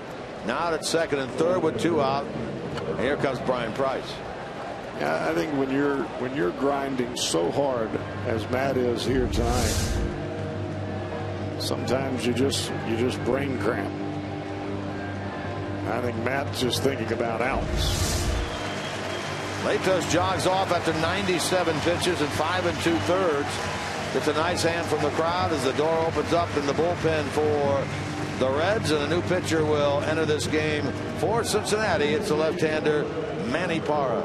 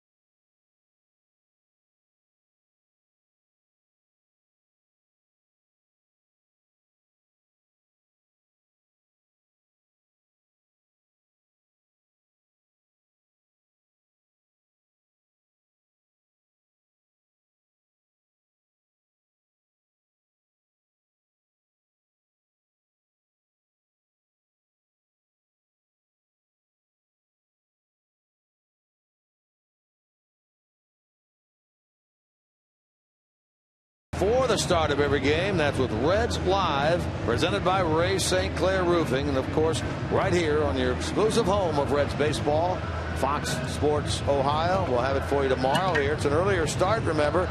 Late afternoon game tomorrow. It starts at 4:10. That means Reds Live gets underway at 3:30. I'm Matt Latos, 87 pitches, six innings at first go round. 97 pitches here today, five and two thirds. Those runners on, still his responsibility. And the new man to the hill is the lefty Manny Parra. And the switch hitter Cabrera will turn around and hit from the right side. Better hitter left-handed. Seven home runs, lefty, four right-handed, but a 265 hitter right-handed. He's one for three in this game. His hit came as the double back in the third. He's now hitting four straight, but nine of his last 11. It's a big out right here for the Reds. He gets a hit here. It's a 9-6 ball game and blocked by Mesoraco on that first pitch from Parra. Get back within three runs after being down eight to nothing. You give the Blue Jays a little bit of life, and you don't want to do that. Reds led 8 nothing after two thanks to their largest single inning output this year. 9 to 4 now. I mean, no breathing easy if he gets a base hit here.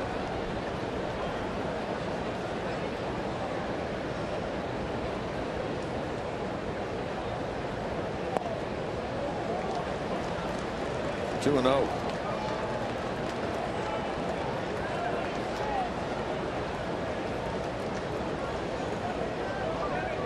And last year with Manny Parra, he was able to get his breaking stuff over for strikes, and that really helped his fastball and the changeup. Breaking ball is down as you've seen the first two here. Three balls and no strikes to Cabrera with Jose Bautista on deck.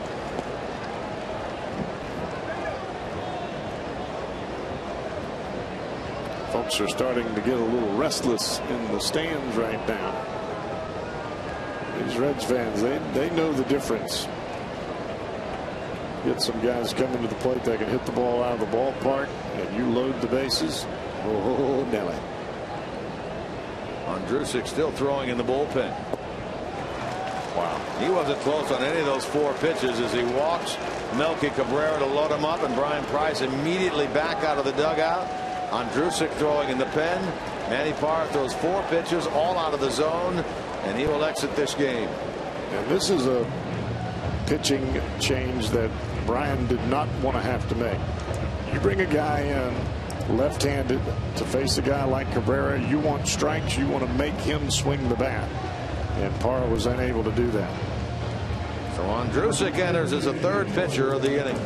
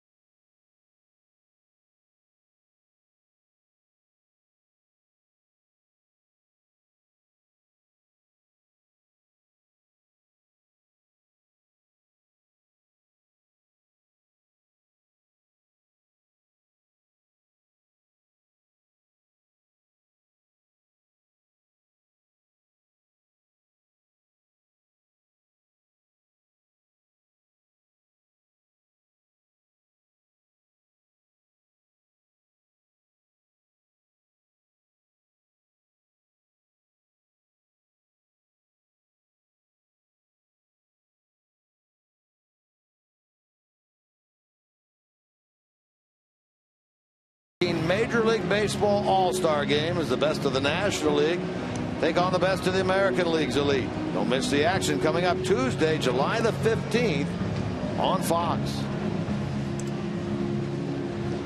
Logan Ondrusek, he's really started to throw the ball a lot better. And when a guy has a tough start, obviously, you, as a fan, you expect him to put zeros up from then on out because he had a tough start. Well, that's that's way over expectation. He's thrown the ball really well.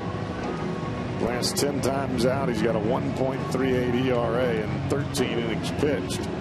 He's got a heavy duty task for himself and the Reds this big fella at the plate because he is thinking downtown Freddie Brown. In case you're wondering, Bautista in his career four grand slams, but none since 2010. He stands in against Logan Ondrusek.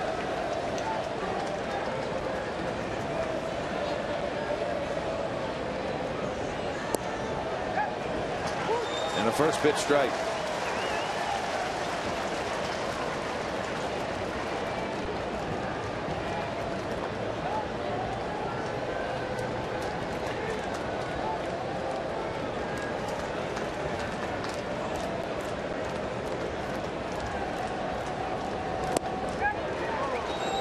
Lays off that one and a ball, one and one. Boy, that was a good pitch.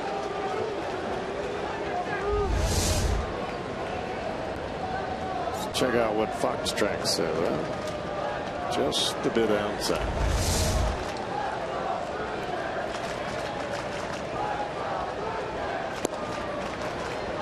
Off the plate again, and now it's two and one. In case you're wondering, yes, one time, Ondrusek has faced Bautista. He retired him. There's Logan's numbers career-wise with the bases loaded.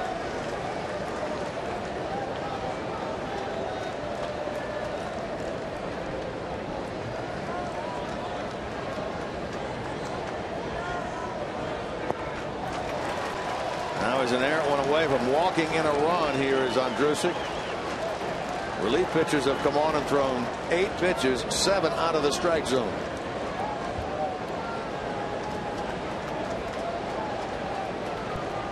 And Encarnacion is on deck. He right now represents the tying run in the hole, rather uh, on deck.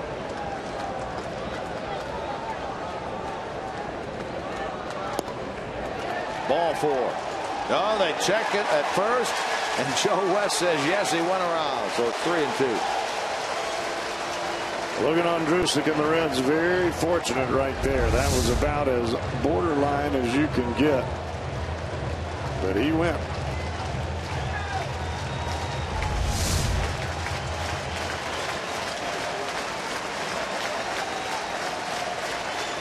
Runners will be on the move.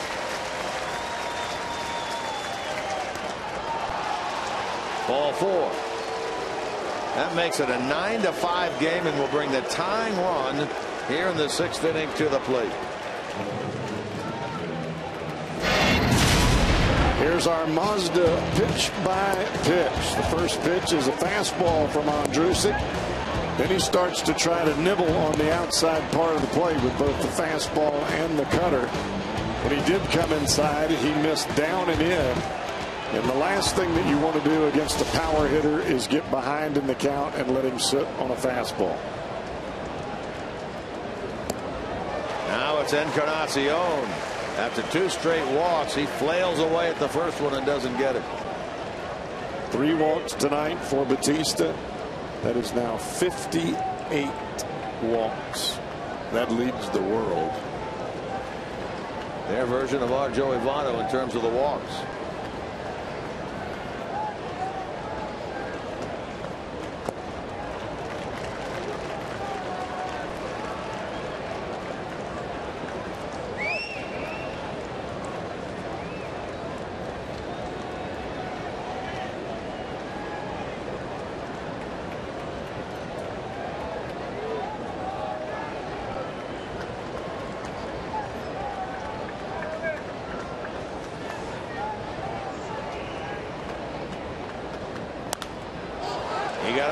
Pops it up.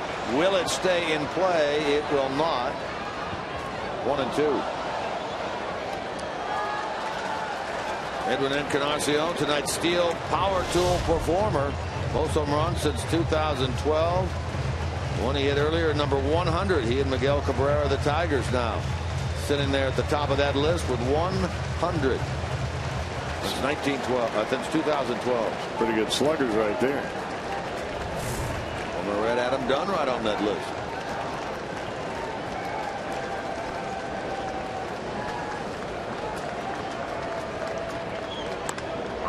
Breaking ball, he got it in the air, but it's playable. Schumaker handles it. Inning over. Good comeback. Ondrusek walked Bautista with the bases loaded, but he gets Encarnacion. It's a four-run game.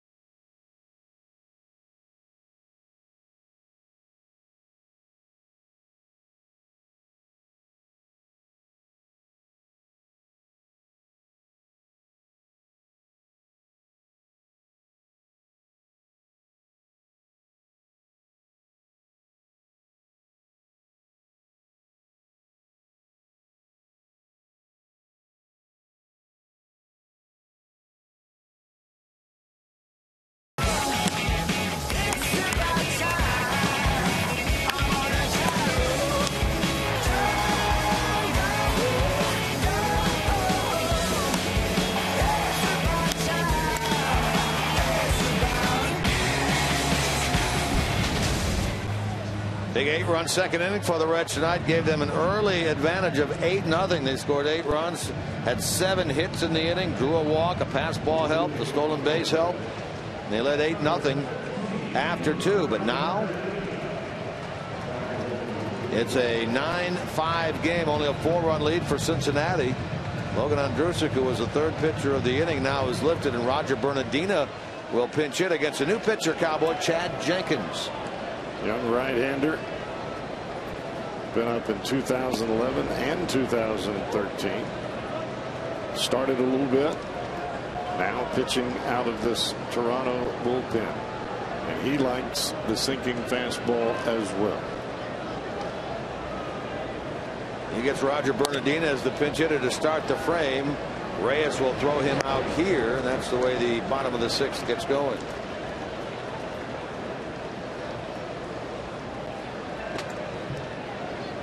Bernadina, he didn't see much time at all on the road trip. Played defensively in the Pittsburgh series, had one at bat in the Milwaukee series. He's out. The batter now, Billy Hamilton. Definitely not the same Roger Bernadina that we saw in spring training.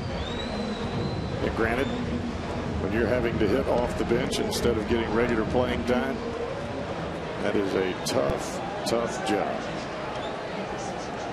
Here's Billy Hamilton. This game one out of three with a run scored and a run driven in and his 30th stolen base of the year. He trails only Dee Gordon of the Dodgers for the National League lead. Dee Gordon with 37 Billy now with 30. Reds have Jumbo Diaz warming up down in the bullpen.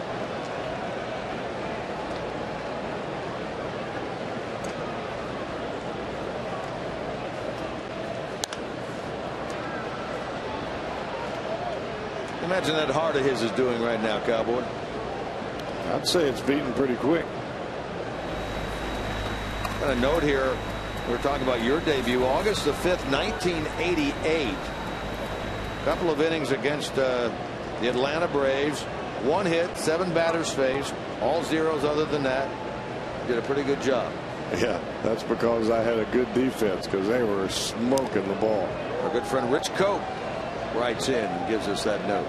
I had 3 and 0 on Andres Thomas, who was the shortstop at the time for the Braves. That was the first batter I faced. he swung 3 and 0. I was so happy because I wasn't sure I was going to be able to get it over the plate. Hard hit ball by Hamilton and bobbled by the second baseman Kawasaki. That will be his first and the third error of the game for Toronto. This is the the team along with Tampa Bay. One of the best fielding teams in the American League. You're taught as an infielder work from the ground up and you could see Kawasaki's glove it was up above his waist and he tried to work from that position down and it doesn't work too well.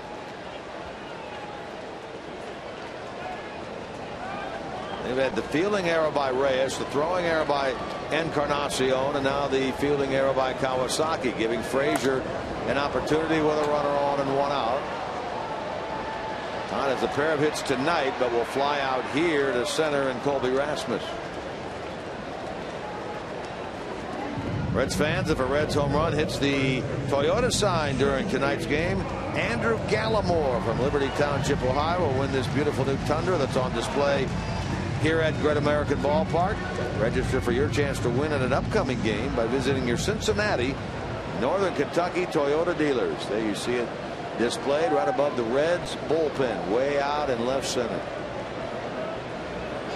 Hamilton going, and Votto rolls this ball easily to first, handled by Encarnacion, and the inning is over.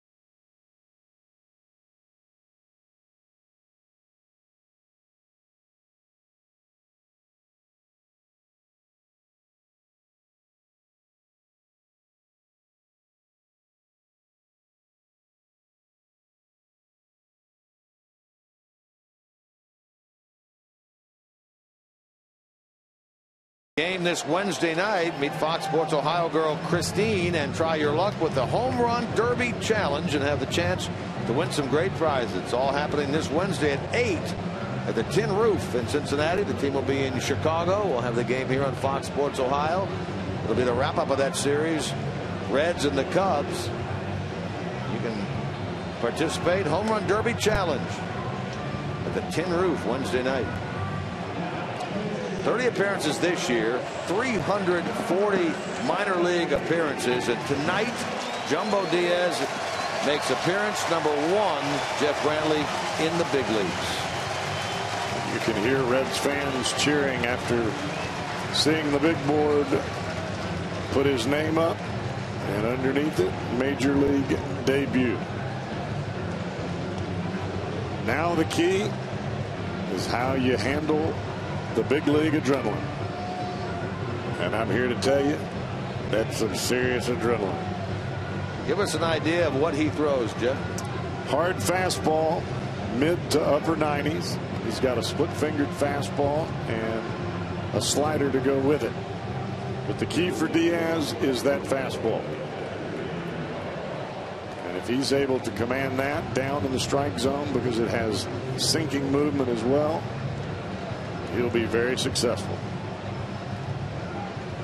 He comes into this game as the fifth, fourth Reds pitcher. Latos five and two thirds, five runs. Manny Parra, one batter, a walk. Logan Ondrusek, two batters, a walk, and the final out, the fly ball to left. And now Diaz is into the game. He'll get Dioner Navarro as his first major league opponent.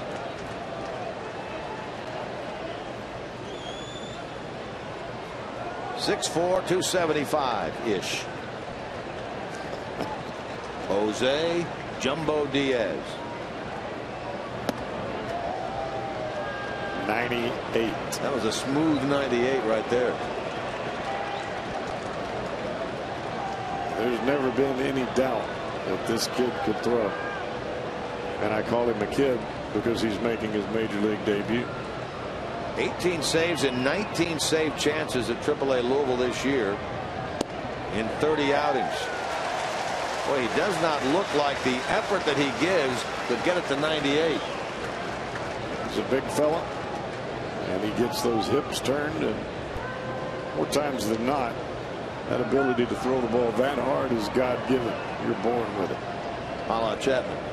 Thank you.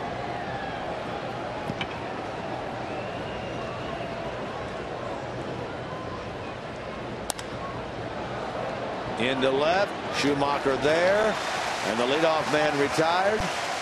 Jumbo can take a big, deep breath. That first out is big, but you still feel your heart beating so fast that your shirt feels like it's moving. You feel like everybody in the dugouts and in the stands can hear your heart beating because you sure hear it in your ears.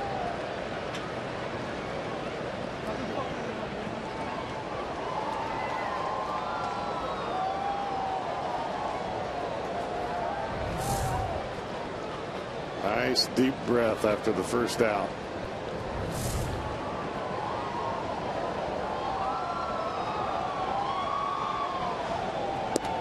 Diaz last worked for the Louisville team on Wednesday, two thirds of an inning in a home game down at Louisville Slugger Field in a save against the Durham Bulls.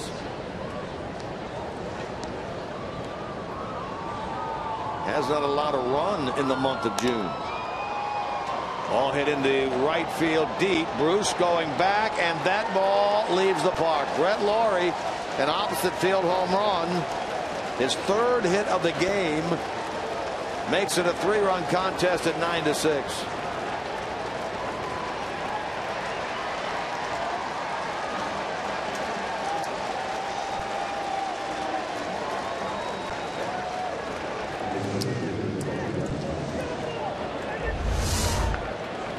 Here's our Cholula hot sauce flamethrower. 98 miles an hour, but you see where the pitch was. It's up a little bit and out over the plate. And that's brought to you by Cholula Hot Sauce, our flamethrower at 98 miles an hour.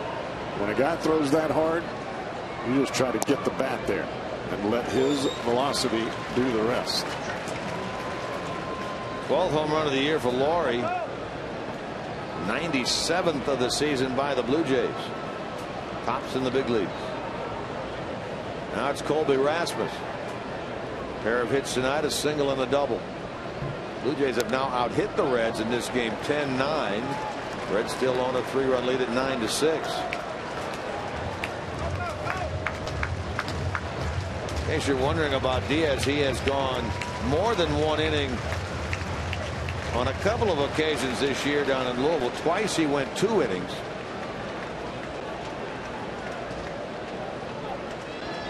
Last time he went two was uh, 10 days ago. He went two innings on the 10th of June at Pawtucket.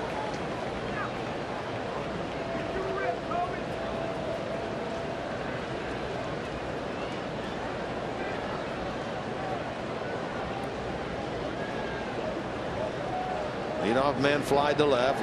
Lawrie the opposite field home run. One and two to Rasmus.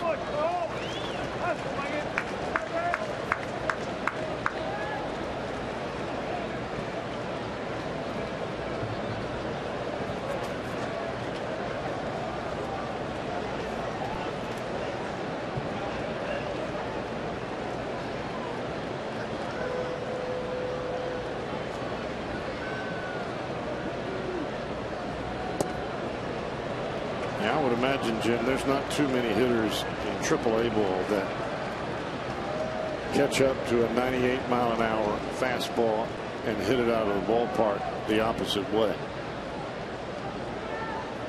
Like Jumbo had given up just one home run ball in AAA this year.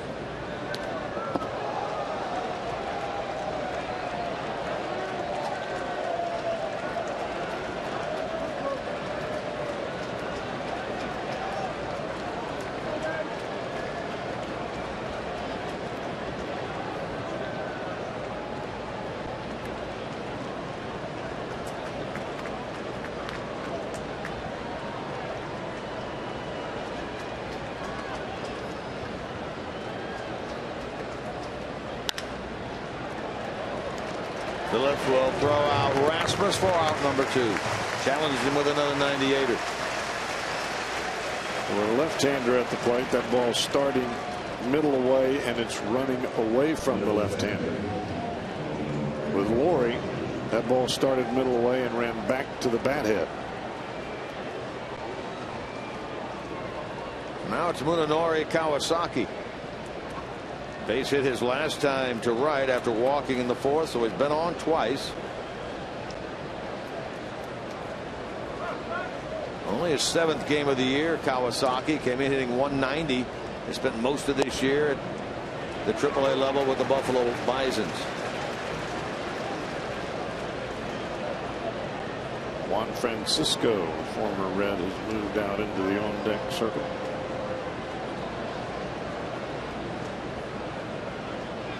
Sergio Santos now, a right-hander, starts to throw in the Toronto bullpen. Pen is quiet at this juncture.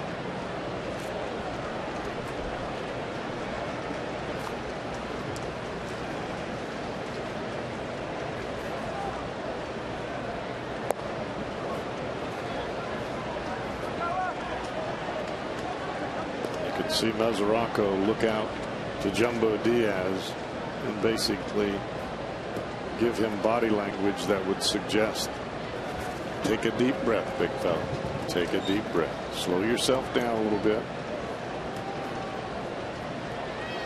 Even in this situation, you feel like you're slowing down, but you are really jumping. Can't help it. Outside corner pitch there, and it's two and two. Kawasaki is the kind of hitter he's going to try to make you throw as many pitches as possible. Until you get two strikes, he's probably not going to swing. Choking up on that bat.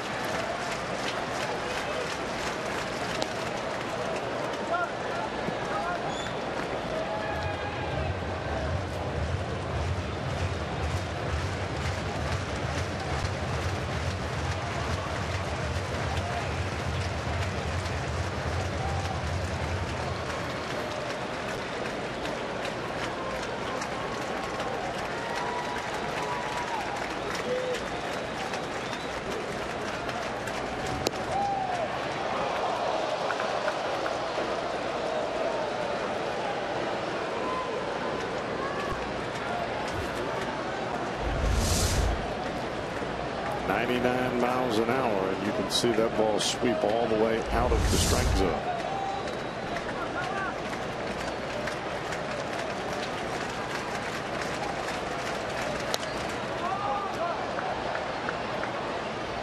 And there is no doubt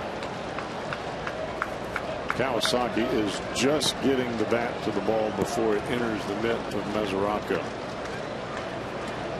Making him work here for that third out, isn't he? He is cap. He is late with a capital L A T E. Ninth pitch of the at bat right here.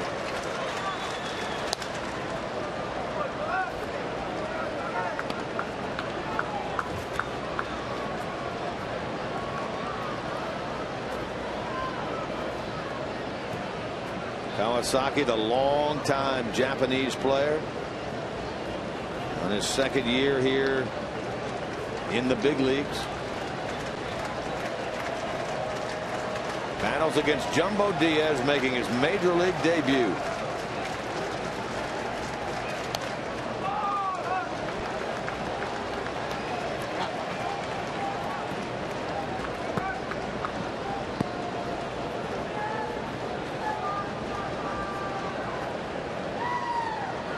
Home run ball by Lawrie to right field made it a three run game at nine to six.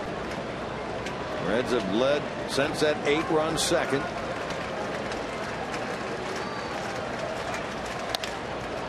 And a bouncer toward the middle and under the glove of Cozart. He couldn't quite get to it.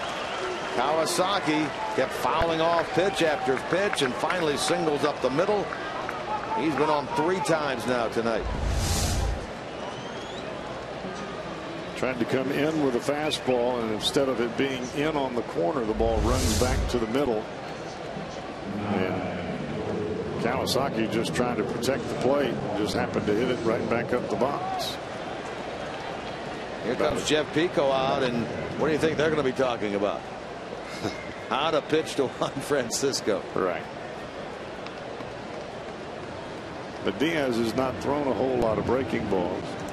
And would imagine that Diaz is familiar with the swing of Juan Francisco.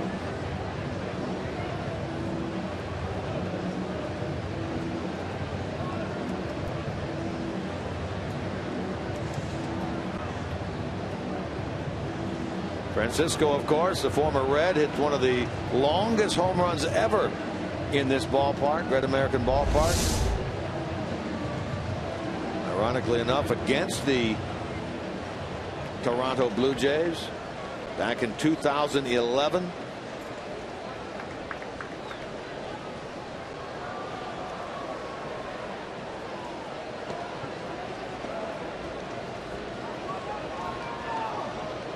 Out of the ballpark it went.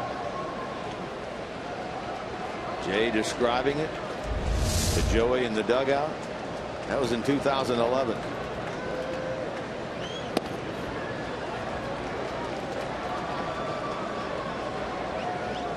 Francisco this year hitting 240 with 11 home runs for the Jays, 28 runs batted in.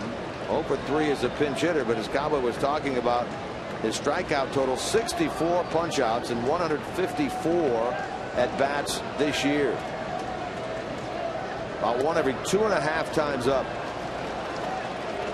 But he gets ahead now 2 and 0. Make him a better hitter when you get behind in the count. No doubt. Juan Francisco is just sitting on a fastball that's middle in. See that wide open stance?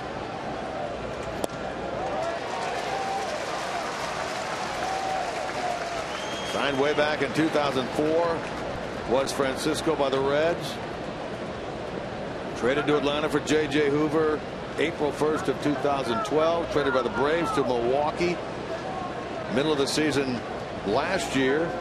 Released by the Brewers at the tail end of spring training this year and then signed April 2nd by Toronto.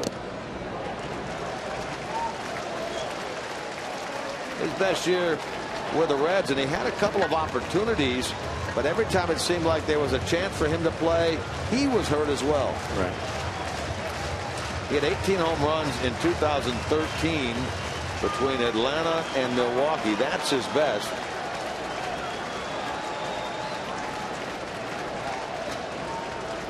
In a big spot right here with a runner on, two out in the seventh. into the corner in left field, and that ball is fair, and that's a pinch hit two-run homer. Juan Francisco, pinch hit two-run shot right down the left field line. This is a one-run game. His 12th home run of the year.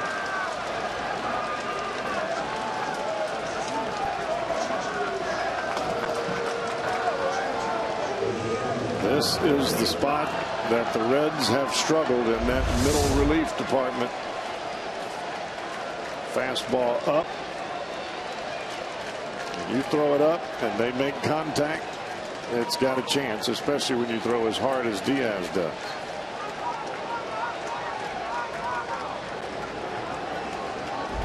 Three home runs now in this game, two of them by former Reds. In fact, that is the sixth career home run by Juan Francisco against Cincinnati. Most versus any team that he has uh, hit against.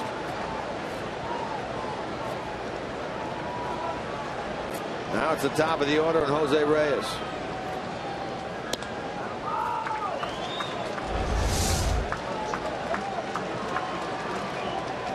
He knows the home run's out and looks right into the Reds dugout. And a couple of teams ago since he wore the Reds uniform.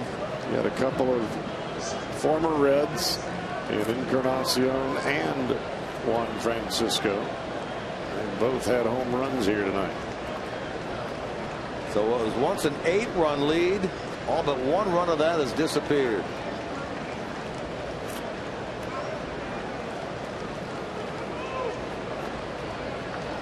Well, it looked like Diaz was going to get the final out of the inning against Kawasaki. Battled him. And the pinch hit home run. Now the tying run comes to the plate. Only the second pinch hit home run the Reds have given up this year. The other, of course, was the grand slam by Ike Davis in New York.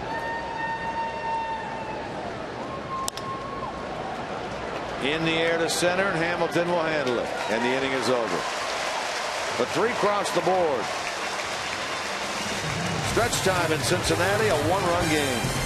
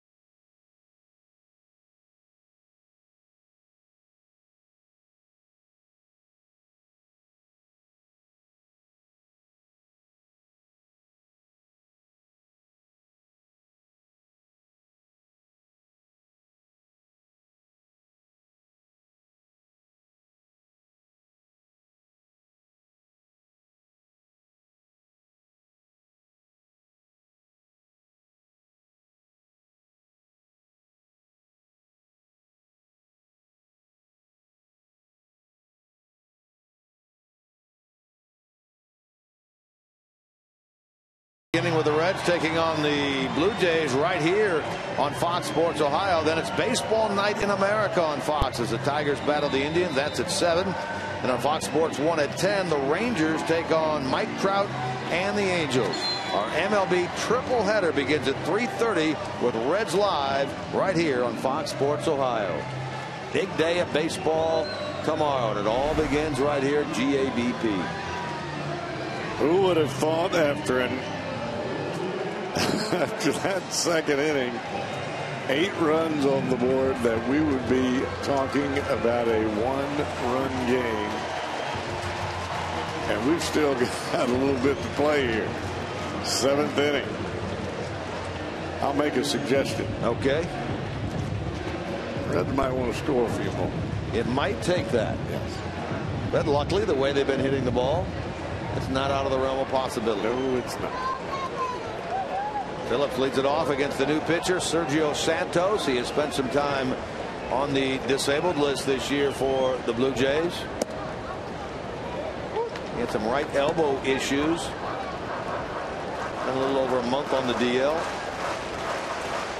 Santos throws hard. He's got good stuff. He has just not been able to put the results together thus far.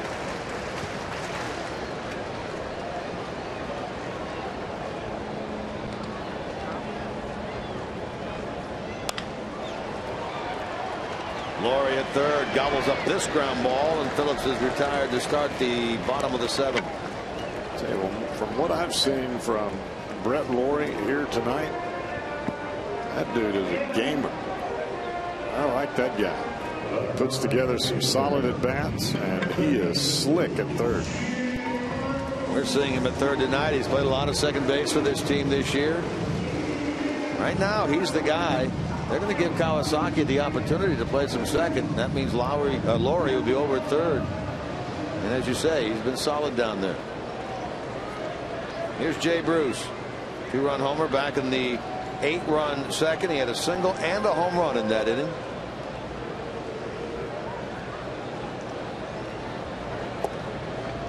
Sergio Santos, a former first round pick by the Diamondbacks back in 2002.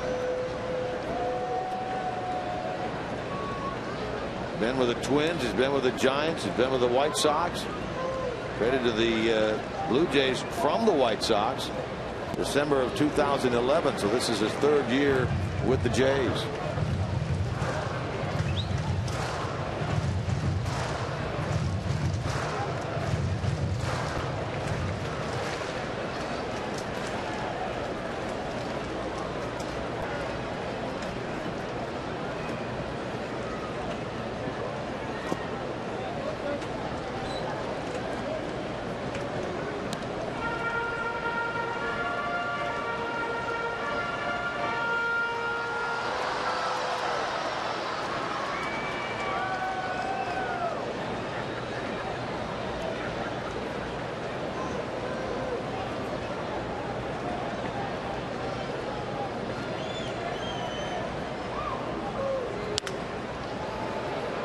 Handled by Encarnacion. He will take it himself.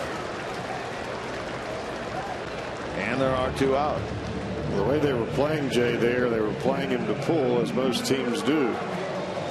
But Santos was feeding him a steady diet of the breaking ball.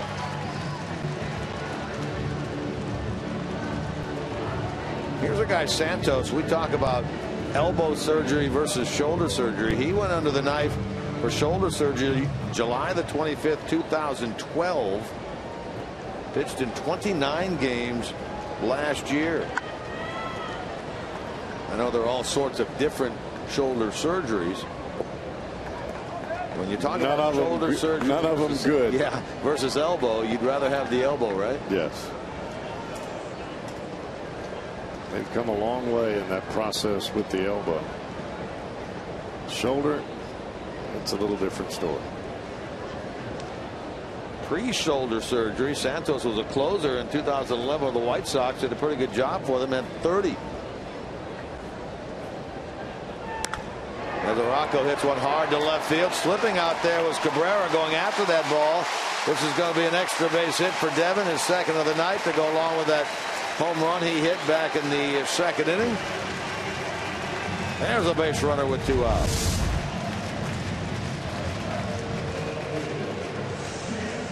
How many times have we seen tonight where a fastball that started off the plate away and it runs back to the middle right on the barrel of the bat, whether it be Reds or whether it be Blue Jays. 10th double of the year for Mesoraco now gives the Reds a chance. Leading by a run at 9-8 here in the bottom of the seventh.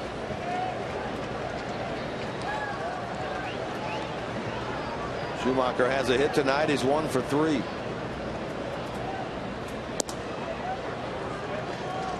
Well, this would really be something if Schumaker was able to put the ball into the outfield on a line and score Mesoraco.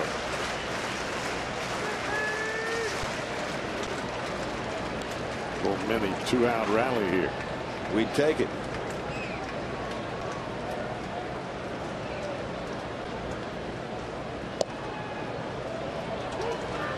Strike call there from Alan Porter goes the way of Santos.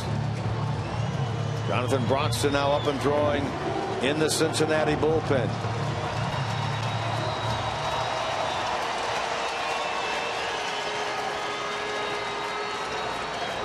That double by Mesoraco, the first Reds hit since the Frazier single back in the fourth.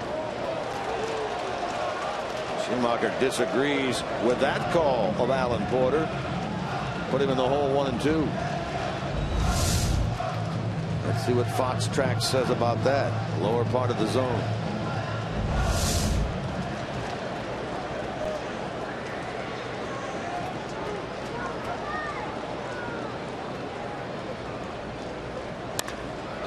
Breaking ball hard toward the middle. Kawasaki with a diving stop and throw.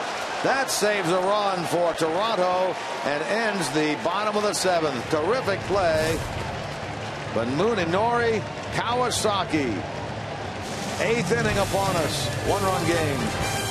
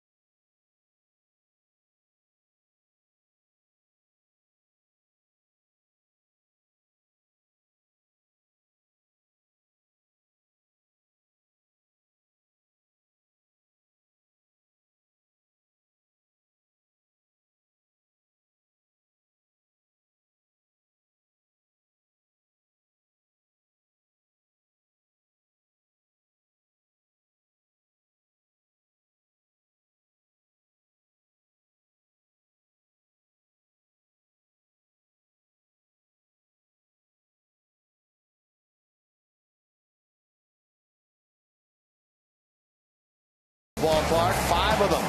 Two on the red side. This one by Mesoraco, a two-run shot as part of that eight-run second. Later in the frame, another two-run blast. This one by Jay Bruce, his sixth of the year. It was 8-0 Reds after two. Encarnacion, the former Red, hit a three-run bullet in the eighth. Uh, pardon me, in the uh, third. Then Brett Lawrie he gets in on the action against Jumbo Diaz, as does Juan Francisco, the former Red. A pinch hit shot into the left field corner, his 12th of the year. Jumbo all told, three runs, three hits, two of them homers, and one inning's worth of work. And a one-run game now at 9-8 Cincinnati. Our Honda game summary sends us into the top of the eighth. Into the game, Jonathan Broxton. It was not his day yesterday in Pittsburgh. He just didn't appear to have the velocity cowboy that we normally expect to see. Really looked like his arm was tight. I'm very surprised that he's out there tonight, to be honest with you.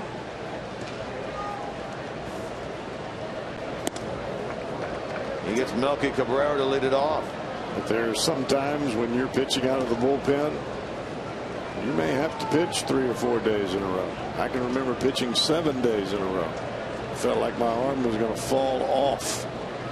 How many days did you need off after pitching seven straight? Couple.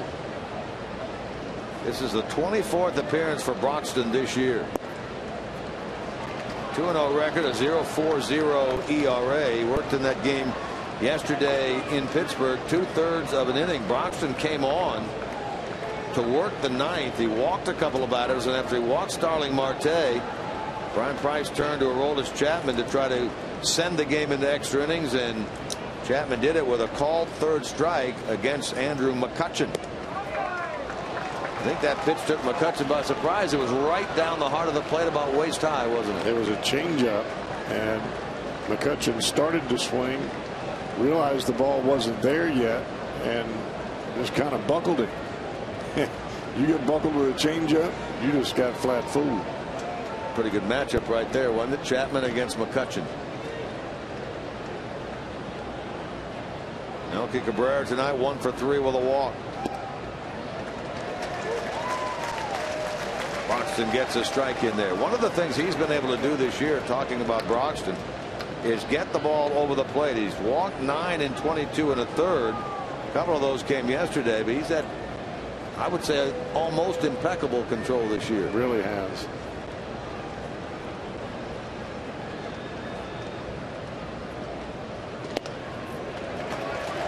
Three and zero to three and two. And I, I think Jonathan Broxton, he's been around the block. He's closed. He's pitched in some heavy duty pressure situations. He understands how to pitch. He doesn't feel the pressure, even though it may be there. He understands that you've got to throw the fastball as well as the breaking ball for a strike.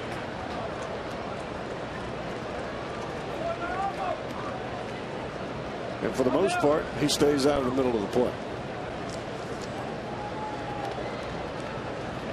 Note in the Toronto Blue Jays game notes prior to the game that the Blue Jays had scored three runs or less in nine of their last 13 games, averaging two and a half runs a game. They've at least temporarily broken out of that tonight. Tonight would not qualify for that note.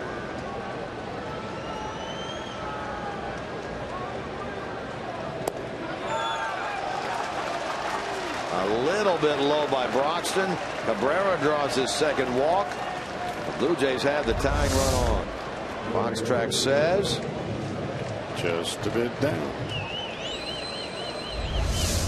Six walks now. Six walks by Reds pitching. Take a look at our AT&T fan photo of the game.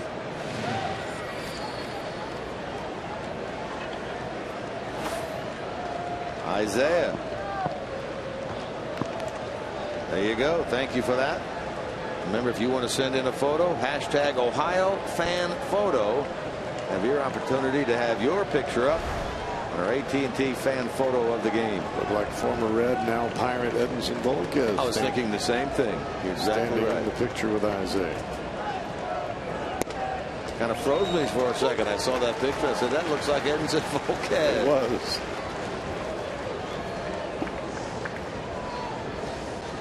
Saw Volquez on Wednesday. That was the uh, the worst we've seen him by far, wasn't it, against Cincinnati since the trade?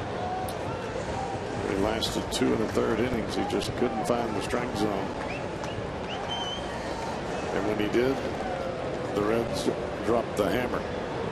That was that seven run third inning.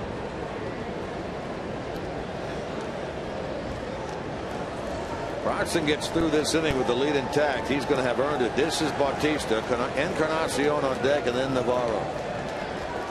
9-8 Reds in the eighth.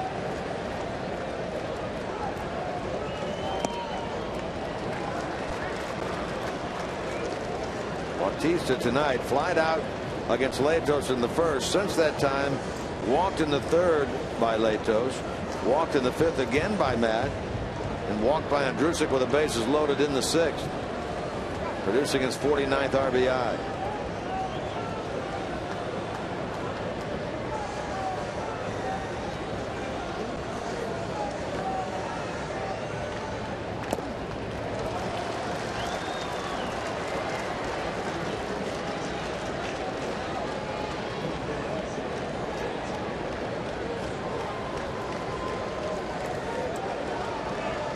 Dustin McGowan, Casey Janssen. Janssen, the closer, throwing in the Toronto bullpen.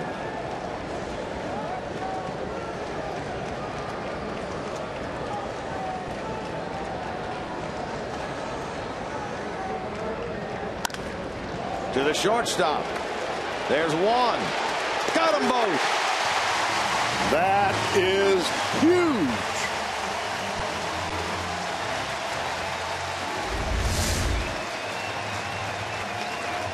Gets the ground ball on the sinker. Phillips turns it over with quick hands. Cozart, Phillips, and there's your defense. It arrives just at a very needed time. A team leading 10th double play hit into by Bautista this year, and boy, oh boy, it could not have come at a better time. Second of the night by the Reds. Now it's double E. Three-run blast back in the third. Got the Blue Jays on the board.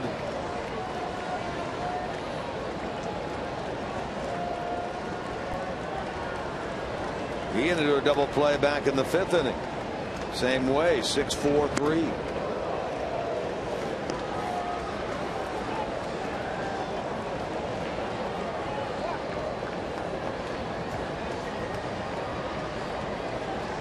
Broxton put a little extra on that one. That one came in at 95 miles an hour.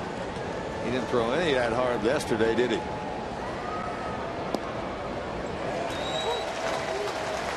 Matter of fact, he's throwing his slider today as hard as he threw his fastball yesterday. Well, as you said, sometimes there are days like that. Where you just don't have it and you just got to create pitches and you've got to get outs.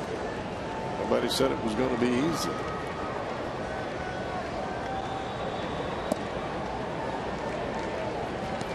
A walk to Cabrera to start the inning against Broxton. The big double play ball, 6-4-3, hit into by Jose Bautista. And now it's Encarnacion against Jonathan Broxton.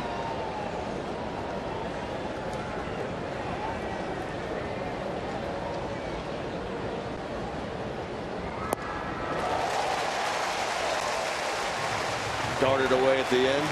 Thinking fastball. Got the slider.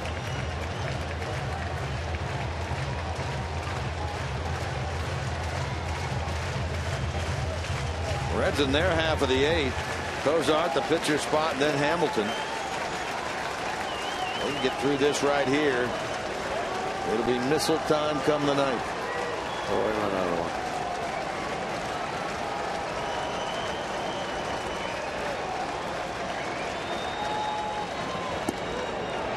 Full count.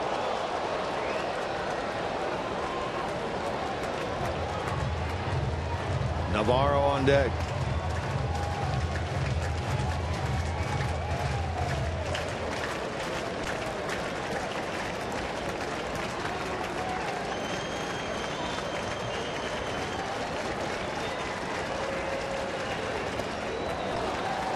Ball four. So the tying run on Encarnacion. Two walks in the inning by Broxton.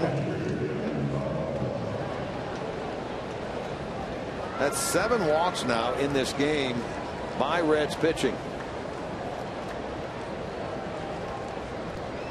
Fourth time this year that the Reds have walked seven in a game. The last time they did it was three days ago against Pittsburgh.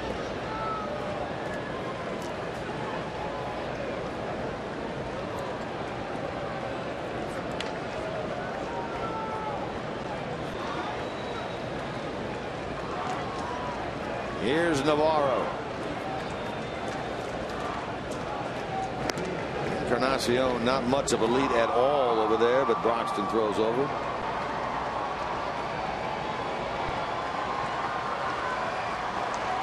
Navarro has faced Broxton one time. He struck out. Encarnacion represents the tying run in this 9-8 game Reds. The top of the eighth.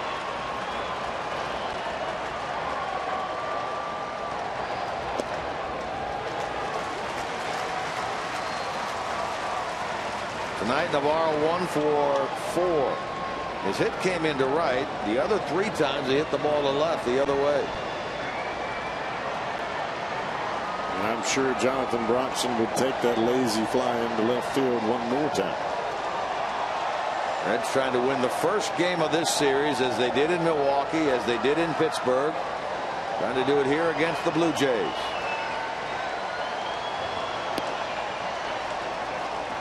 Blue Jays trying to avoid equaling their longest losing streak of the year at four. They start the day a game and a half ahead of the Yankees. Yankees are playing at home tonight and trailing to Baltimore two to one in the ninth.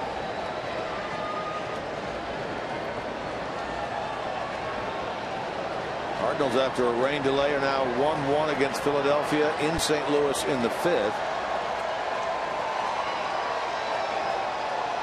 Philadelphia has played some pretty good ball as of late. They have turned it on a little bit. You're exactly right. They got a long way to go.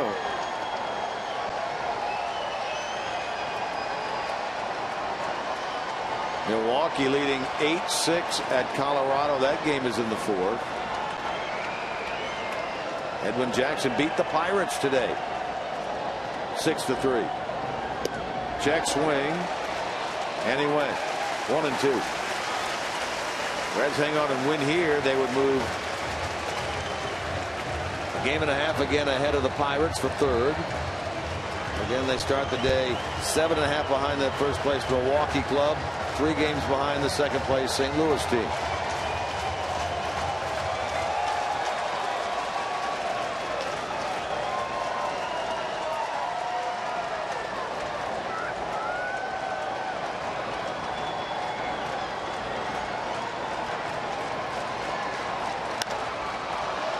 Center field. Schumaker on the run. He's not going to get it.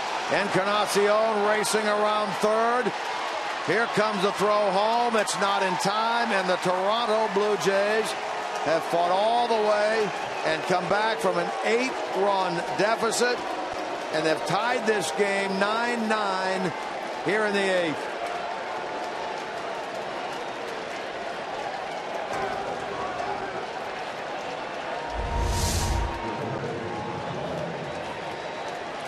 Fastball, Mesoraco had set up away. And again, that ball in the middle of the plate. And it was not down, it was up a little bit, and it allows Navarro to put it into the gap.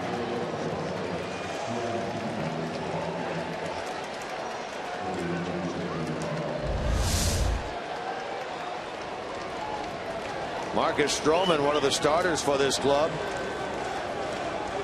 comes off the bench and will run at second base as the go ahead run for Navarro. Stroman initially the list we saw was going to pitch in the game here on Sunday but they had moved uh, their their rotation around so the Reds will miss him. Lawrie's had a big night. He's three for four, including that home run in the seventh inning against Jumbo Diaz. Broxton is charged with a blown save.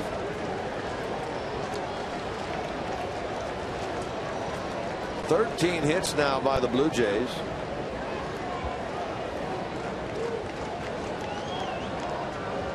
And this is not what that Reds bullpen needed. It was a game that has potential to go into extra innings. I had to wonder how much they thought they'd even get any work tonight with an 8 0 lead early. Hamilton coming on on this fly ball. Billy gets there, has it, and the inning is over. But a double to left center by Dioner Navarro has tied this game 9 9 in the middle of the eighth.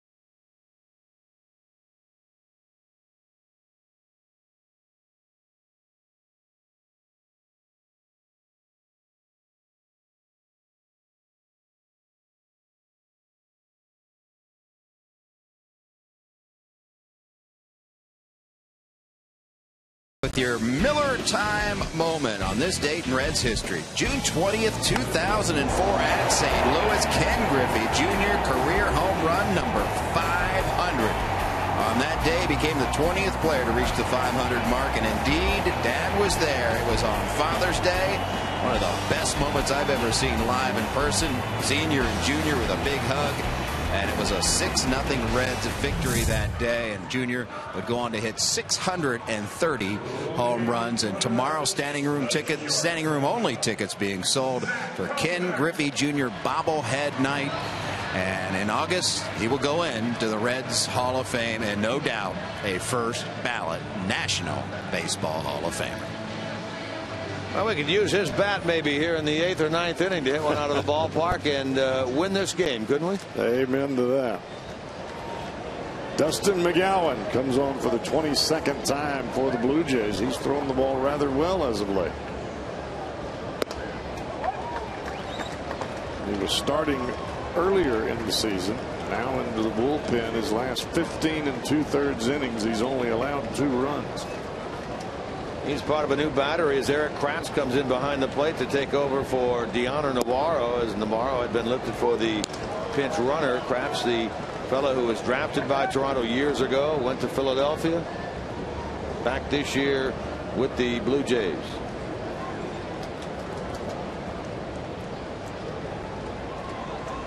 Those are tonight one hit three trips.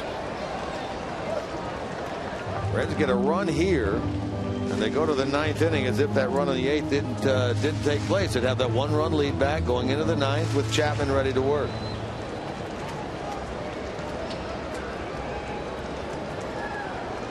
Toronto's made three errors tonight. He made four errors in the game earlier this uh, this year against Texas. But all the runs the Reds have scored have been earned runs. Six against Liam Hendriks, the starter, three against uh, Todd Redmond.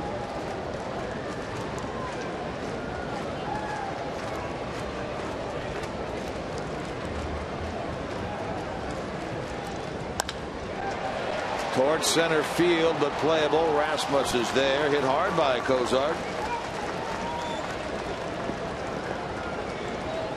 Now Brayan Pena will bat for Jonathan Broxton. JB goes one inning, one hit, one run, couple of walks. Walks bothered him yesterday. Walked two in two thirds of an inning, and he walks two more here tonight.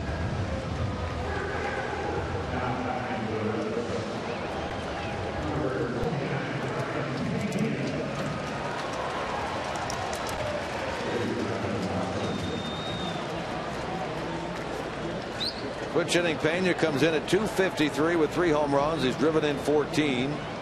Two for eight, including a pinch hit home run this year. Well, the Blue Jays were able to get one earlier off the bat of Juan Francisco. Maybe the Reds can get one of their own. They've hit two this year, one by Pena, one by Chris Heisey. Remember, that was the pinch hit grand slam against Tampa Bay.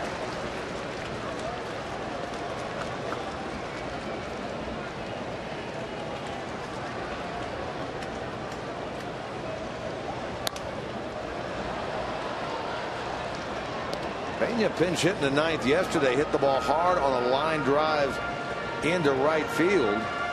Unfortunately, the ball was caught. That was against Grilli. As the final out of the ninth, the Reds had had the home run by Mesoraco to tie it. The two out double by Cozart. Pena pinch hit. Squared it up, but unfortunately right at Polanco. Yeah, if that ball's five or ten feet left or right, game wouldn't have gone to extra innings. Melky Cabrera makes the play. And there are two out. Back to the top now in Billy Hamilton.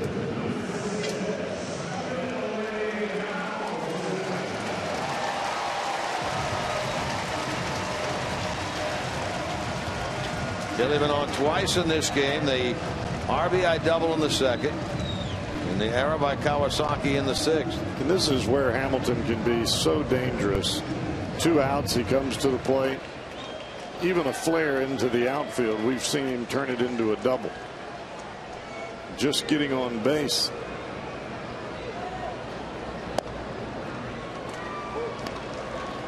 Get aboard. Frazier standing in the on deck circle. Take your chances of stealing second base. See if Todd can drive him in.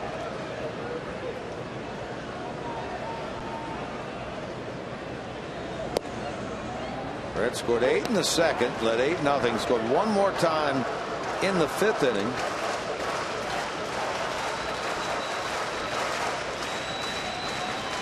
Four batters in the sixth, four batters in the seventh, first two out here in the eighth.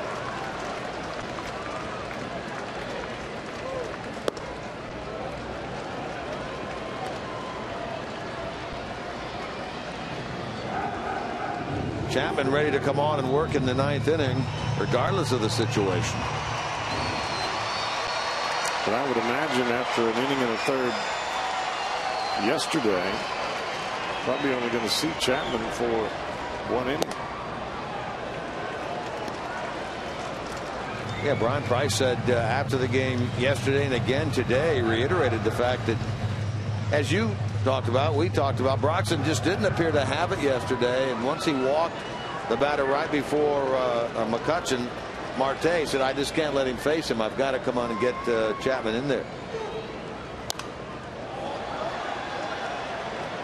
And let's face it, with Chapman, it really doesn't matter left or right. No. Not the way he's throwing the ball right now. As hot as McCutchen was coming into that series and as well as he hits Reds pitching, Chapman just locked him up.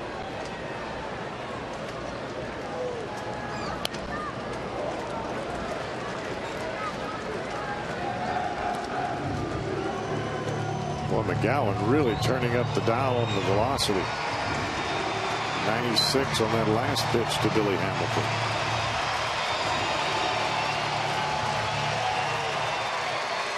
Trying to get on here in the bottom of the eighth. 9-9 game. First game of this three-game series against the Blue Jays. Now we got to look at a 3-2 pitch.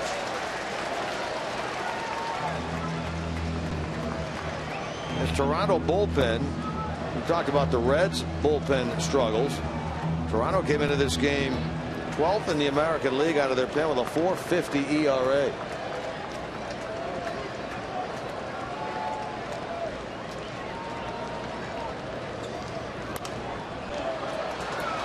Stays alive. They got a good work, a good innings worth of work out of Chad Jenkins in the sixth. Same thing can be said about Sergio Santos in the seventh. Dustin McGowan try to equal that. Todd Redmond in long relief gave up three.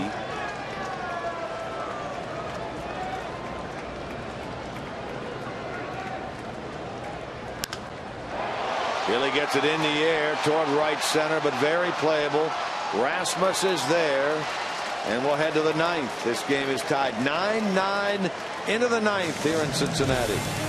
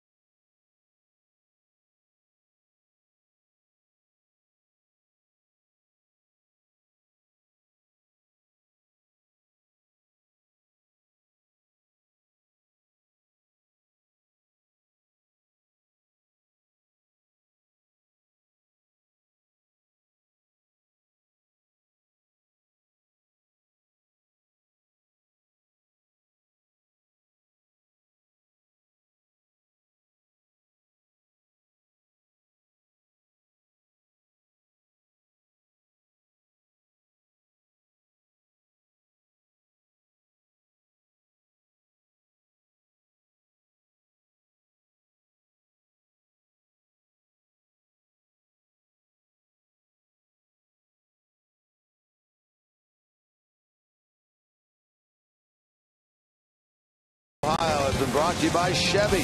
Visit your tri-state Chevy dealers today. And by Cincinnati Children's Hospital, who ranks third in the country on U.S. News and World Report's 2014 Best Children's Hospitals. Remember to stay with us after the game. Fox Sports Ohio, break it down. First ones to talk with the skipper, Bryan Price. That's Reds Live post game, brought to you by Performance Kings Honda. We hope we get an interview with Jeff Piecoro down on the field. That will mean the Reds will have won this game. Meanwhile, trying to shut the door in the top of the ninth inning will be Aroldis Chapman. He certainly did it yesterday. Came on and finished it off in the ninth. Struck out the side in the 10th, faced all four batters, and they all went down via the strikeout. He comes on here to work the top of the ninth. And Chapman has been, I would say, Jim, he's been better this year than we've ever seen him. Being able to throw the breaking ball and the changeup for strikes, and he's still pumping triple digits at will. After yesterday's outing, his ERA has dropped under one now at 0.98. The best he did was two years ago at 1.51.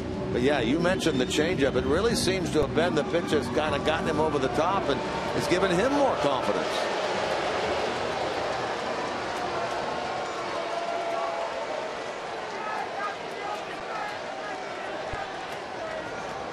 Mean, Chapman is showing this year why the Reds even entertained the thought of making him a starter because he's got three pitches that he can throw for a strike and he's throwing any of them at any time and he throws a hundred plus. Well, he gets Colby Rasmus to lead things off. Lefty lefty matchup.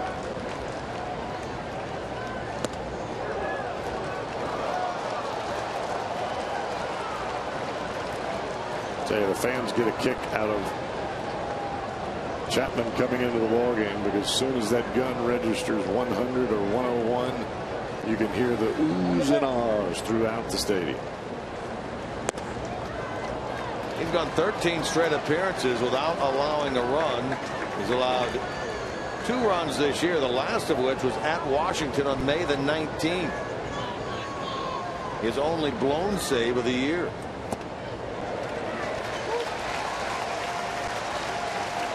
Chapman took a little off of that one to get it over 99. Last 13 appearances is what we're talking about. 13 and a third, no runs, three hits. Two and two. Rasmus be followed here by Kawasaki. And then Erik Kratz, the catcher in the nine spot.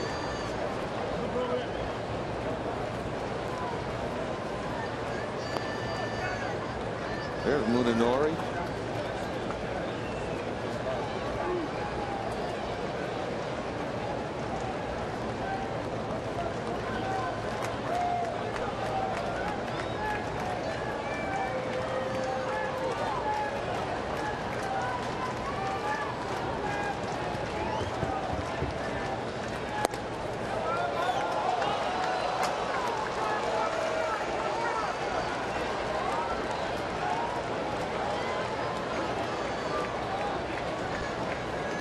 Don't know how you take that pitch right there. I agree with you. It's the only way is because you know you can't hit it. Well, he works a walk out of him. Chapman, we mentioned, worked in yesterday's game, Cowboy. Four batters, four strikeouts. Look at the strikeout pitches from Chapman. The changeup locks up Andrew McCutchen. There's the slider down and in to Gabby Sanchez. Another slider gets Josh Harrison. And then check this changeup out. I mean, that had some serious down and away action. When Chapman's throwing those kinds of pitches, that's a little unfair. Fun to watch, but unfair for the other folks. He faces his second straight left-handed hitter here in the person of Kawasaki. Lefties this year against Chapman hitting 077. The league hitting 102, but lefties 077. He walks the leadoff man. That's the go ahead run. Kawasaki has two hits and a walk in tonight's game. A big hit against Jumbo Diaz. They try to bunt the runner along. Frazier will throw on to first. Kawasaki gets the job done. Fundamentally sound player right there.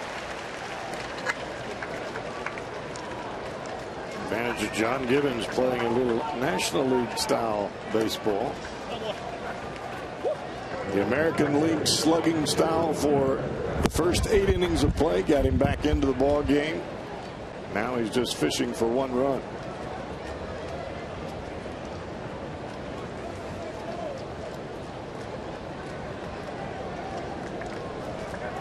His closer Casey Janssen up and throwing earlier. Here's Erik Kratz batting for the first time. 222 hitter with three home runs. This guy can hit a fastball now. He has a hit and two at bats lifetime against Chapman. That hit, in fact, was a home run. It came in Philly, and it was a game winner. Janssen is now up again and throwing in the Toronto bullpen.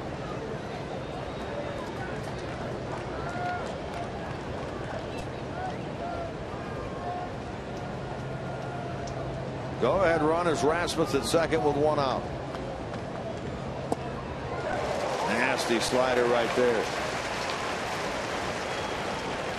And You watch the head and the neck here of Erik Kratz. I mean, he's so far out in front of that ball. He's looking at his manager by the time he gets the bat through the strike zone. He is looking for nothing but the number one.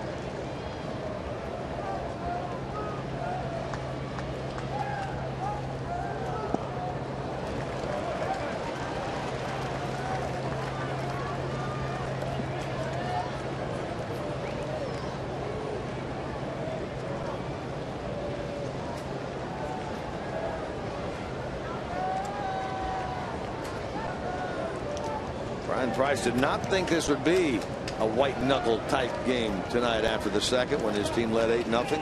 Neither did I. Right after three in the eighth, two in the sixth, three in the seventh, one in the eighth. That last one coming on an RBI double by the former Red Dioner Navarro that scored Encarnacion. Toronto has fought all the way back to tie things 9 9. Time had been called on that.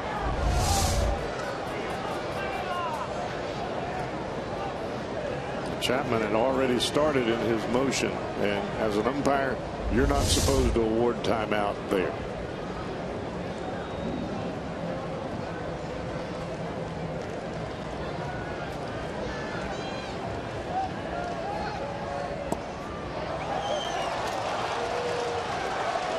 Wow, that was a pretty good pitch.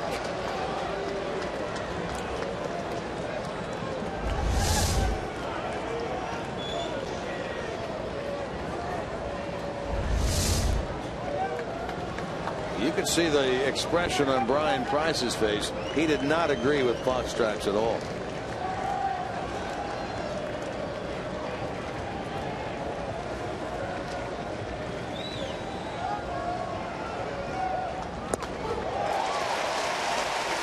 Doing the heater there. Kratz went up and out of the zone to try to get it and missed.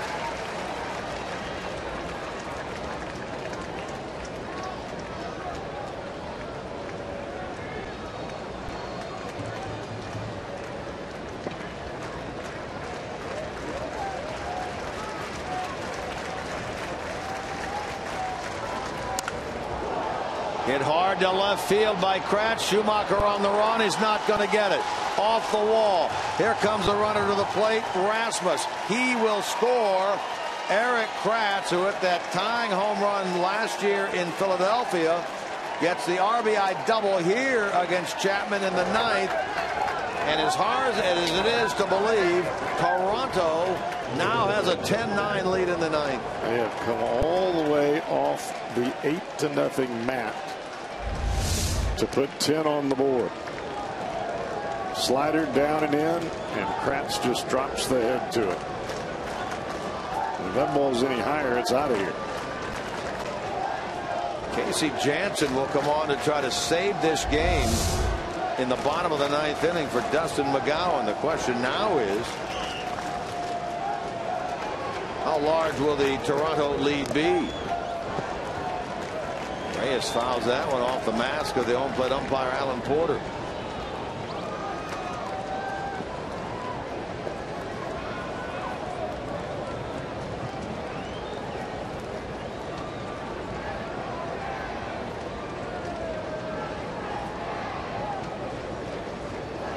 that one looked like it caught up around the top of the mask of Porter.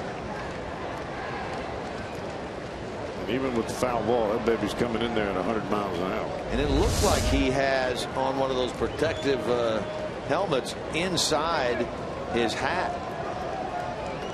Like it caught him right about eye level, didn't it? Yeah. Reyes turns around and bats now from the right side. Much different hitter from this side of the plate, 222. Hitless tonight. Leadoff walk to Rasmussen this inning. John Gibbons elects to bunt Kawasaki to move the runner along as Cabo you mentioned playing a little National League baseball here late. And it paid off. Kratz comes up with the 3-2 pitch and the double off the wall and left.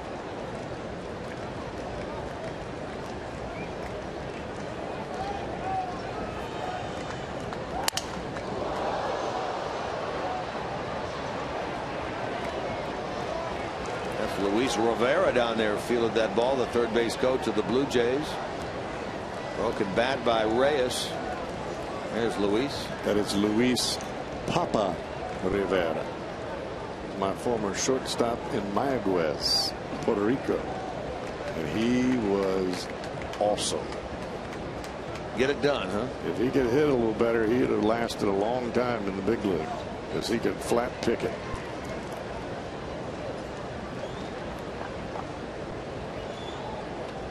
That where you learned the splitter down there? That's exactly where I learned the splitter. Got me to the big leagues. From our guy Mark Riggins. You got it. Swing and a miss. Reyes is the second out of the inning. Matter will be Melky Cabrera. There are not too many ball games as you see that 101 mile an hour fastball into the mitt as the bat comes underneath. Not too many ball games where you see Broxton and Chapman give up a run in the same game. That is it's not happened this year. Well, we mentioned 13 consecutive appearances without a run allowed ends here tonight for Chapman. There's one uncorked with Cabrera at the plate. And it moves Kratz over to third. And Broxton coming into the ball game tonight had only given up one run all year. Mm-hmm. And I know that as a fan, you watch the ball game and your guys that pitch the eighth and ninth inning, you think, well, they're just going to be perfect every single time out. That's not going to happen. Even the best give up a run every now and then. It's just what makes this game so difficult is the fact that the Reds were leading eight to nothing after two innings. They knocked the Toronto starter out of the ball game. The middle relief for the Reds was just not able to hold Toronto down. And that has been a recurring theme that is not pretty.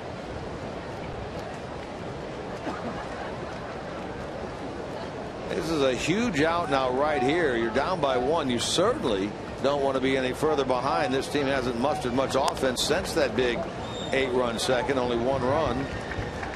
Uh, you want to give yourself a chance with your home run hitters coming to the plate Frazier, Votto, Phillips and, and maybe Bruce. A chance with one swing of the bat to either tie it or win it. Well, they've not had more than four batters in an inning since they scored the eight in the second.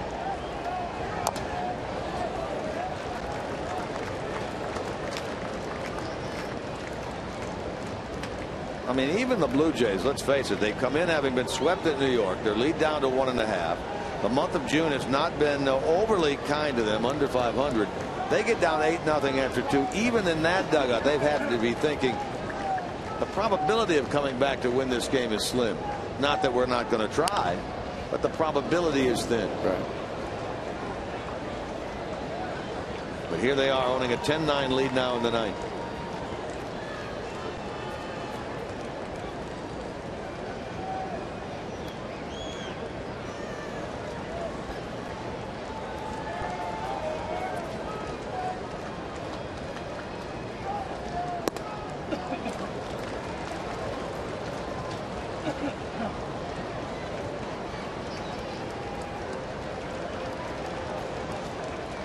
Big pitch here.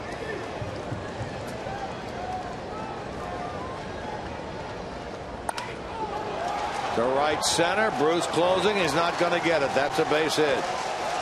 Second hit of the inning now against Chapman by Toronto.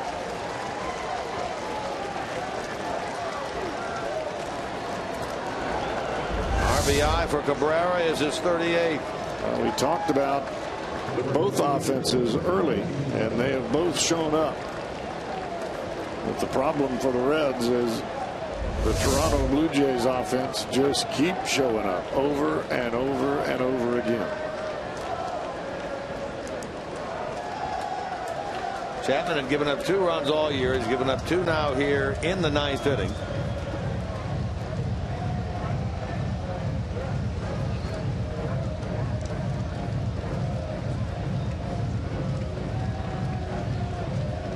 Bring Jose Bautista to the plate.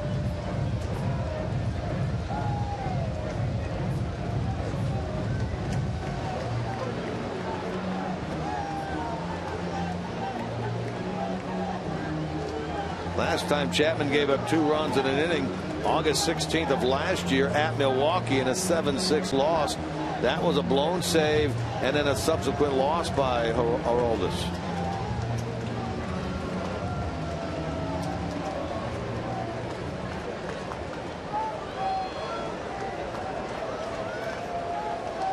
Bautista. Three walks. A big double play at the time hit into in the eighth.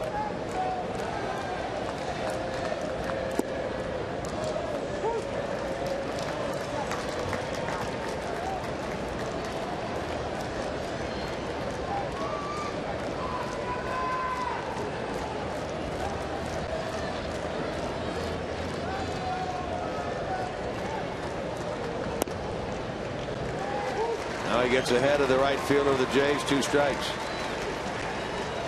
Cowboy mentioned Frazier, Votto, Phillips. Anybody gets on Bruce in the bottom of the ninth against Casey Janssen.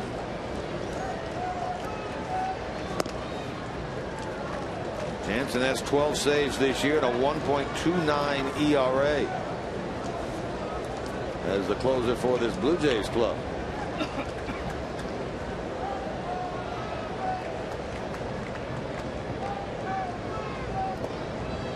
Some time on their disabled list at Janssen with a back issue. In fact, started the season on the DL. Wasn't activated until the middle of May.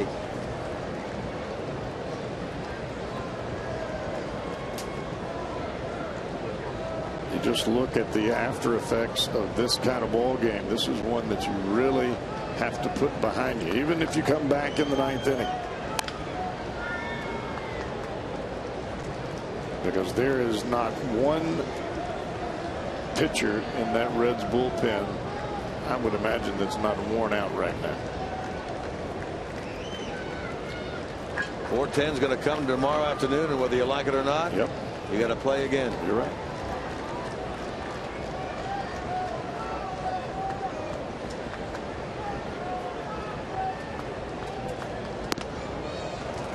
From 0-2 now to 3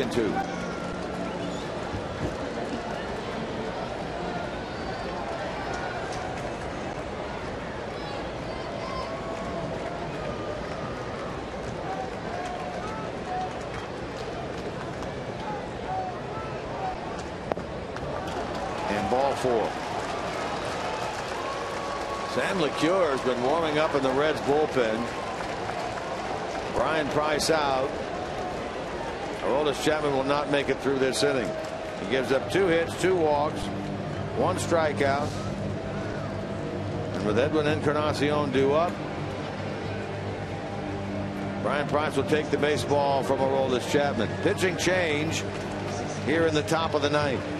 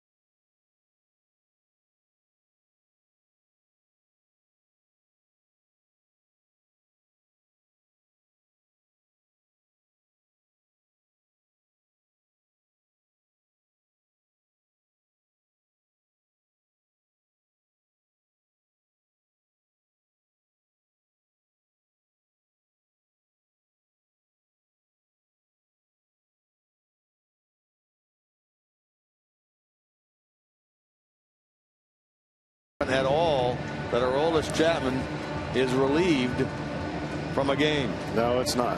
And you could sense the frustration from Aroldis Chapman, especially after the the run scored and Kratz hit the ball off the wall. But as I was saying earlier, there's nobody perfect. I don't know that I've ever heard of a pitcher going through a season without giving up a run. It's just part of the process. You're going to have some rough nights. So Sam LeCure comes on as the second pitcher of the inning and the sixth Reds reliever to work in this game. Everyone has worked other than J.J. Hoover.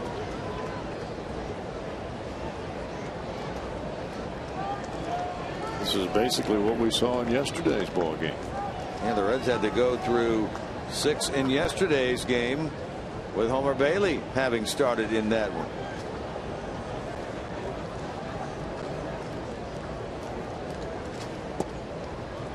The only difference in the names in tonight's ball game out of that bullpen is Diaz is in there instead of Cingrani.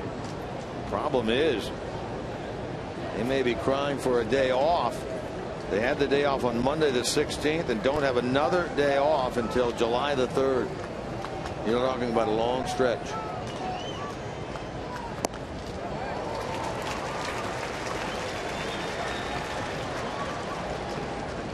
You're talking about 16 days and 17 games, if I'm adding this correctly. And a little bit more than that, even 19. Strap it on.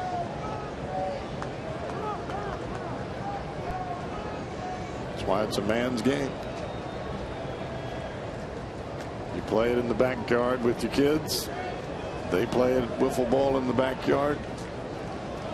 When you get paid the big bucks, you better come home with it. It is a grind. 162 games in 182 days. You have a couple of stretches like this team is going through now in terms of days in a row. They have the doubleheader against Chicago. Once they come home from the West Coast, they have the game, uh, the day off on the third, and then that homestand that also includes a doubleheader.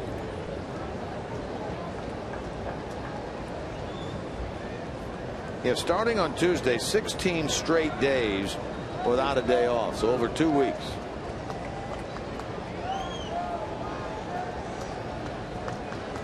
This is day four.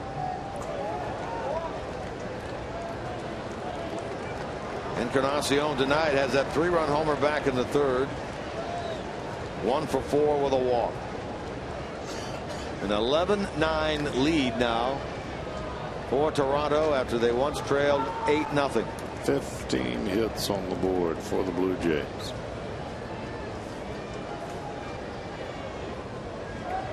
One shy of the most given up by the Reds in a game this year.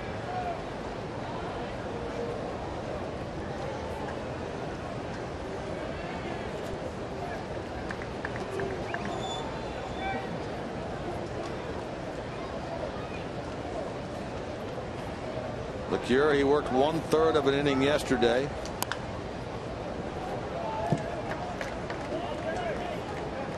Faced one batter. Polanco was able to get him hit into a force play. Worked in the first game of the series on Tuesday at Pittsburgh, and that's when he was touched up for three runs in one third of an inning. You know, if you think about it, this this is just an aberration for this Reds pitching staff. Normally, you put four or five runs on the board, you're going to win the ball game. The Reds have put nine on the board tonight.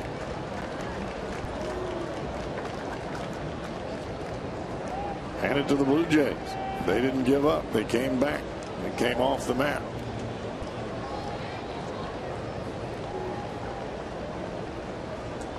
Sam now gets a visit from Devin Mesoraco.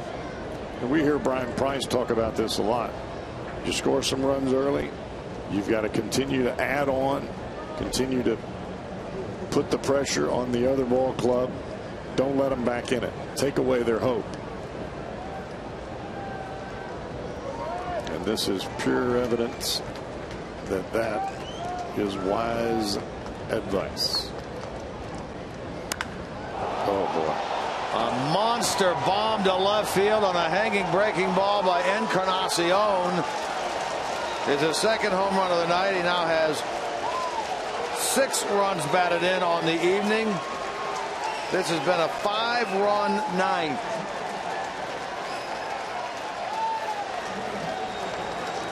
And a 14 to 9 Toronto lead.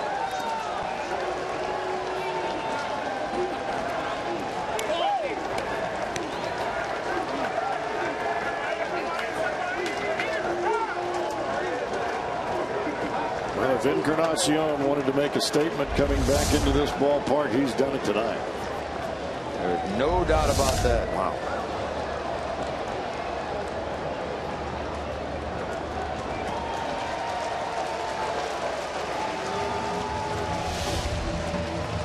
Two three-run homers tonight by Edwin Encarnacion.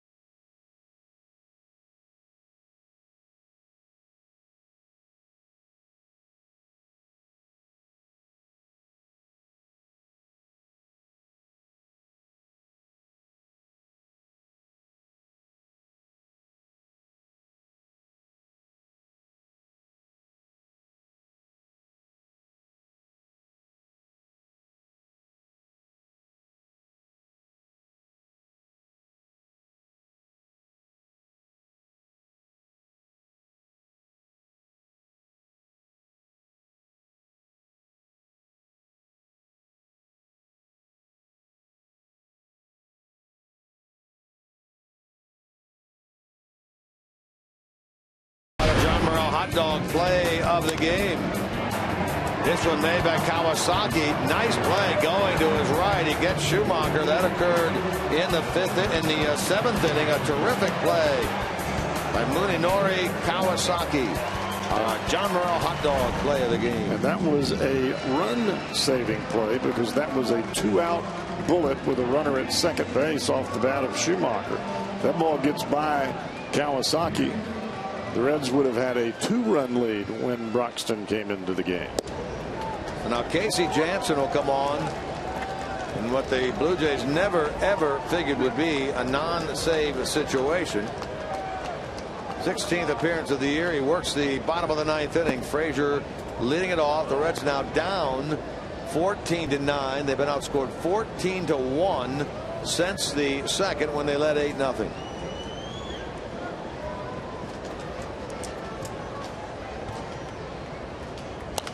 For those of you who like these kind of things, Aroldis Chapman gives up four runs in two thirds of an inning tonight, matches the most runs given up by Chapman in his career. He gave up four against the Cardinals on the 15th of May 2011.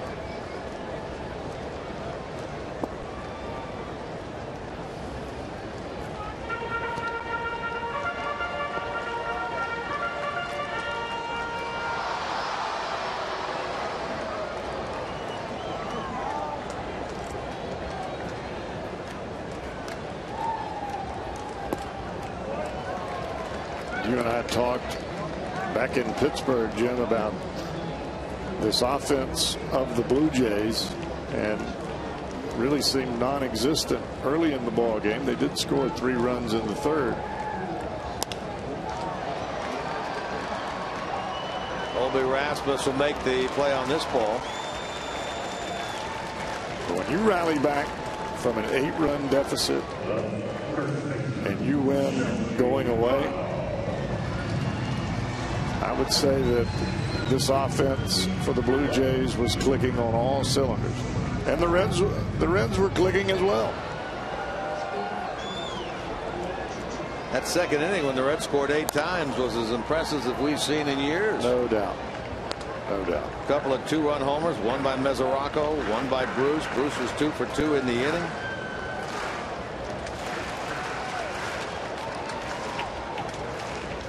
I mean, Jay's had a wonderful night. Two for three on the night. He scored three runs, hit a home run.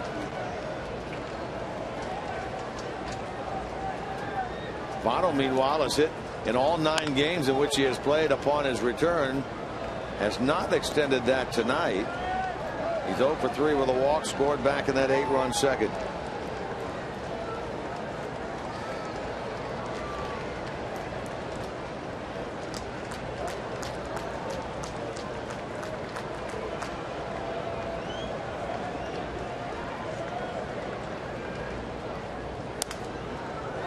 Pops this one up. Lawrie will make the play, and there are two out. Well, the big hit for Toronto that tied the game came against Broxton off the bat of the former Red, Dioner Navarro, in the eighth inning. After the walk and then the double play hit into by Bautista, we were feeling pretty good about things. Yeah. But then Broxton walked in Encarnacion. Navarro got the double. And then, as you talked about earlier, in the seventh inning, the double by Mesoraco and the ball absolutely scorched by Schumaker and a terrific play made by Kawasaki. What's amazing about the Blue Jays offense tonight, they did not get their leadoff hitter on base one time. 0 for 6 tonight, Jose Reyes. And you would think that would be a key to their offense, but it has been power hitting for the Blue Jays tonight. Came in with 95 home runs and they have not let up against the Reds here tonight. Four of them.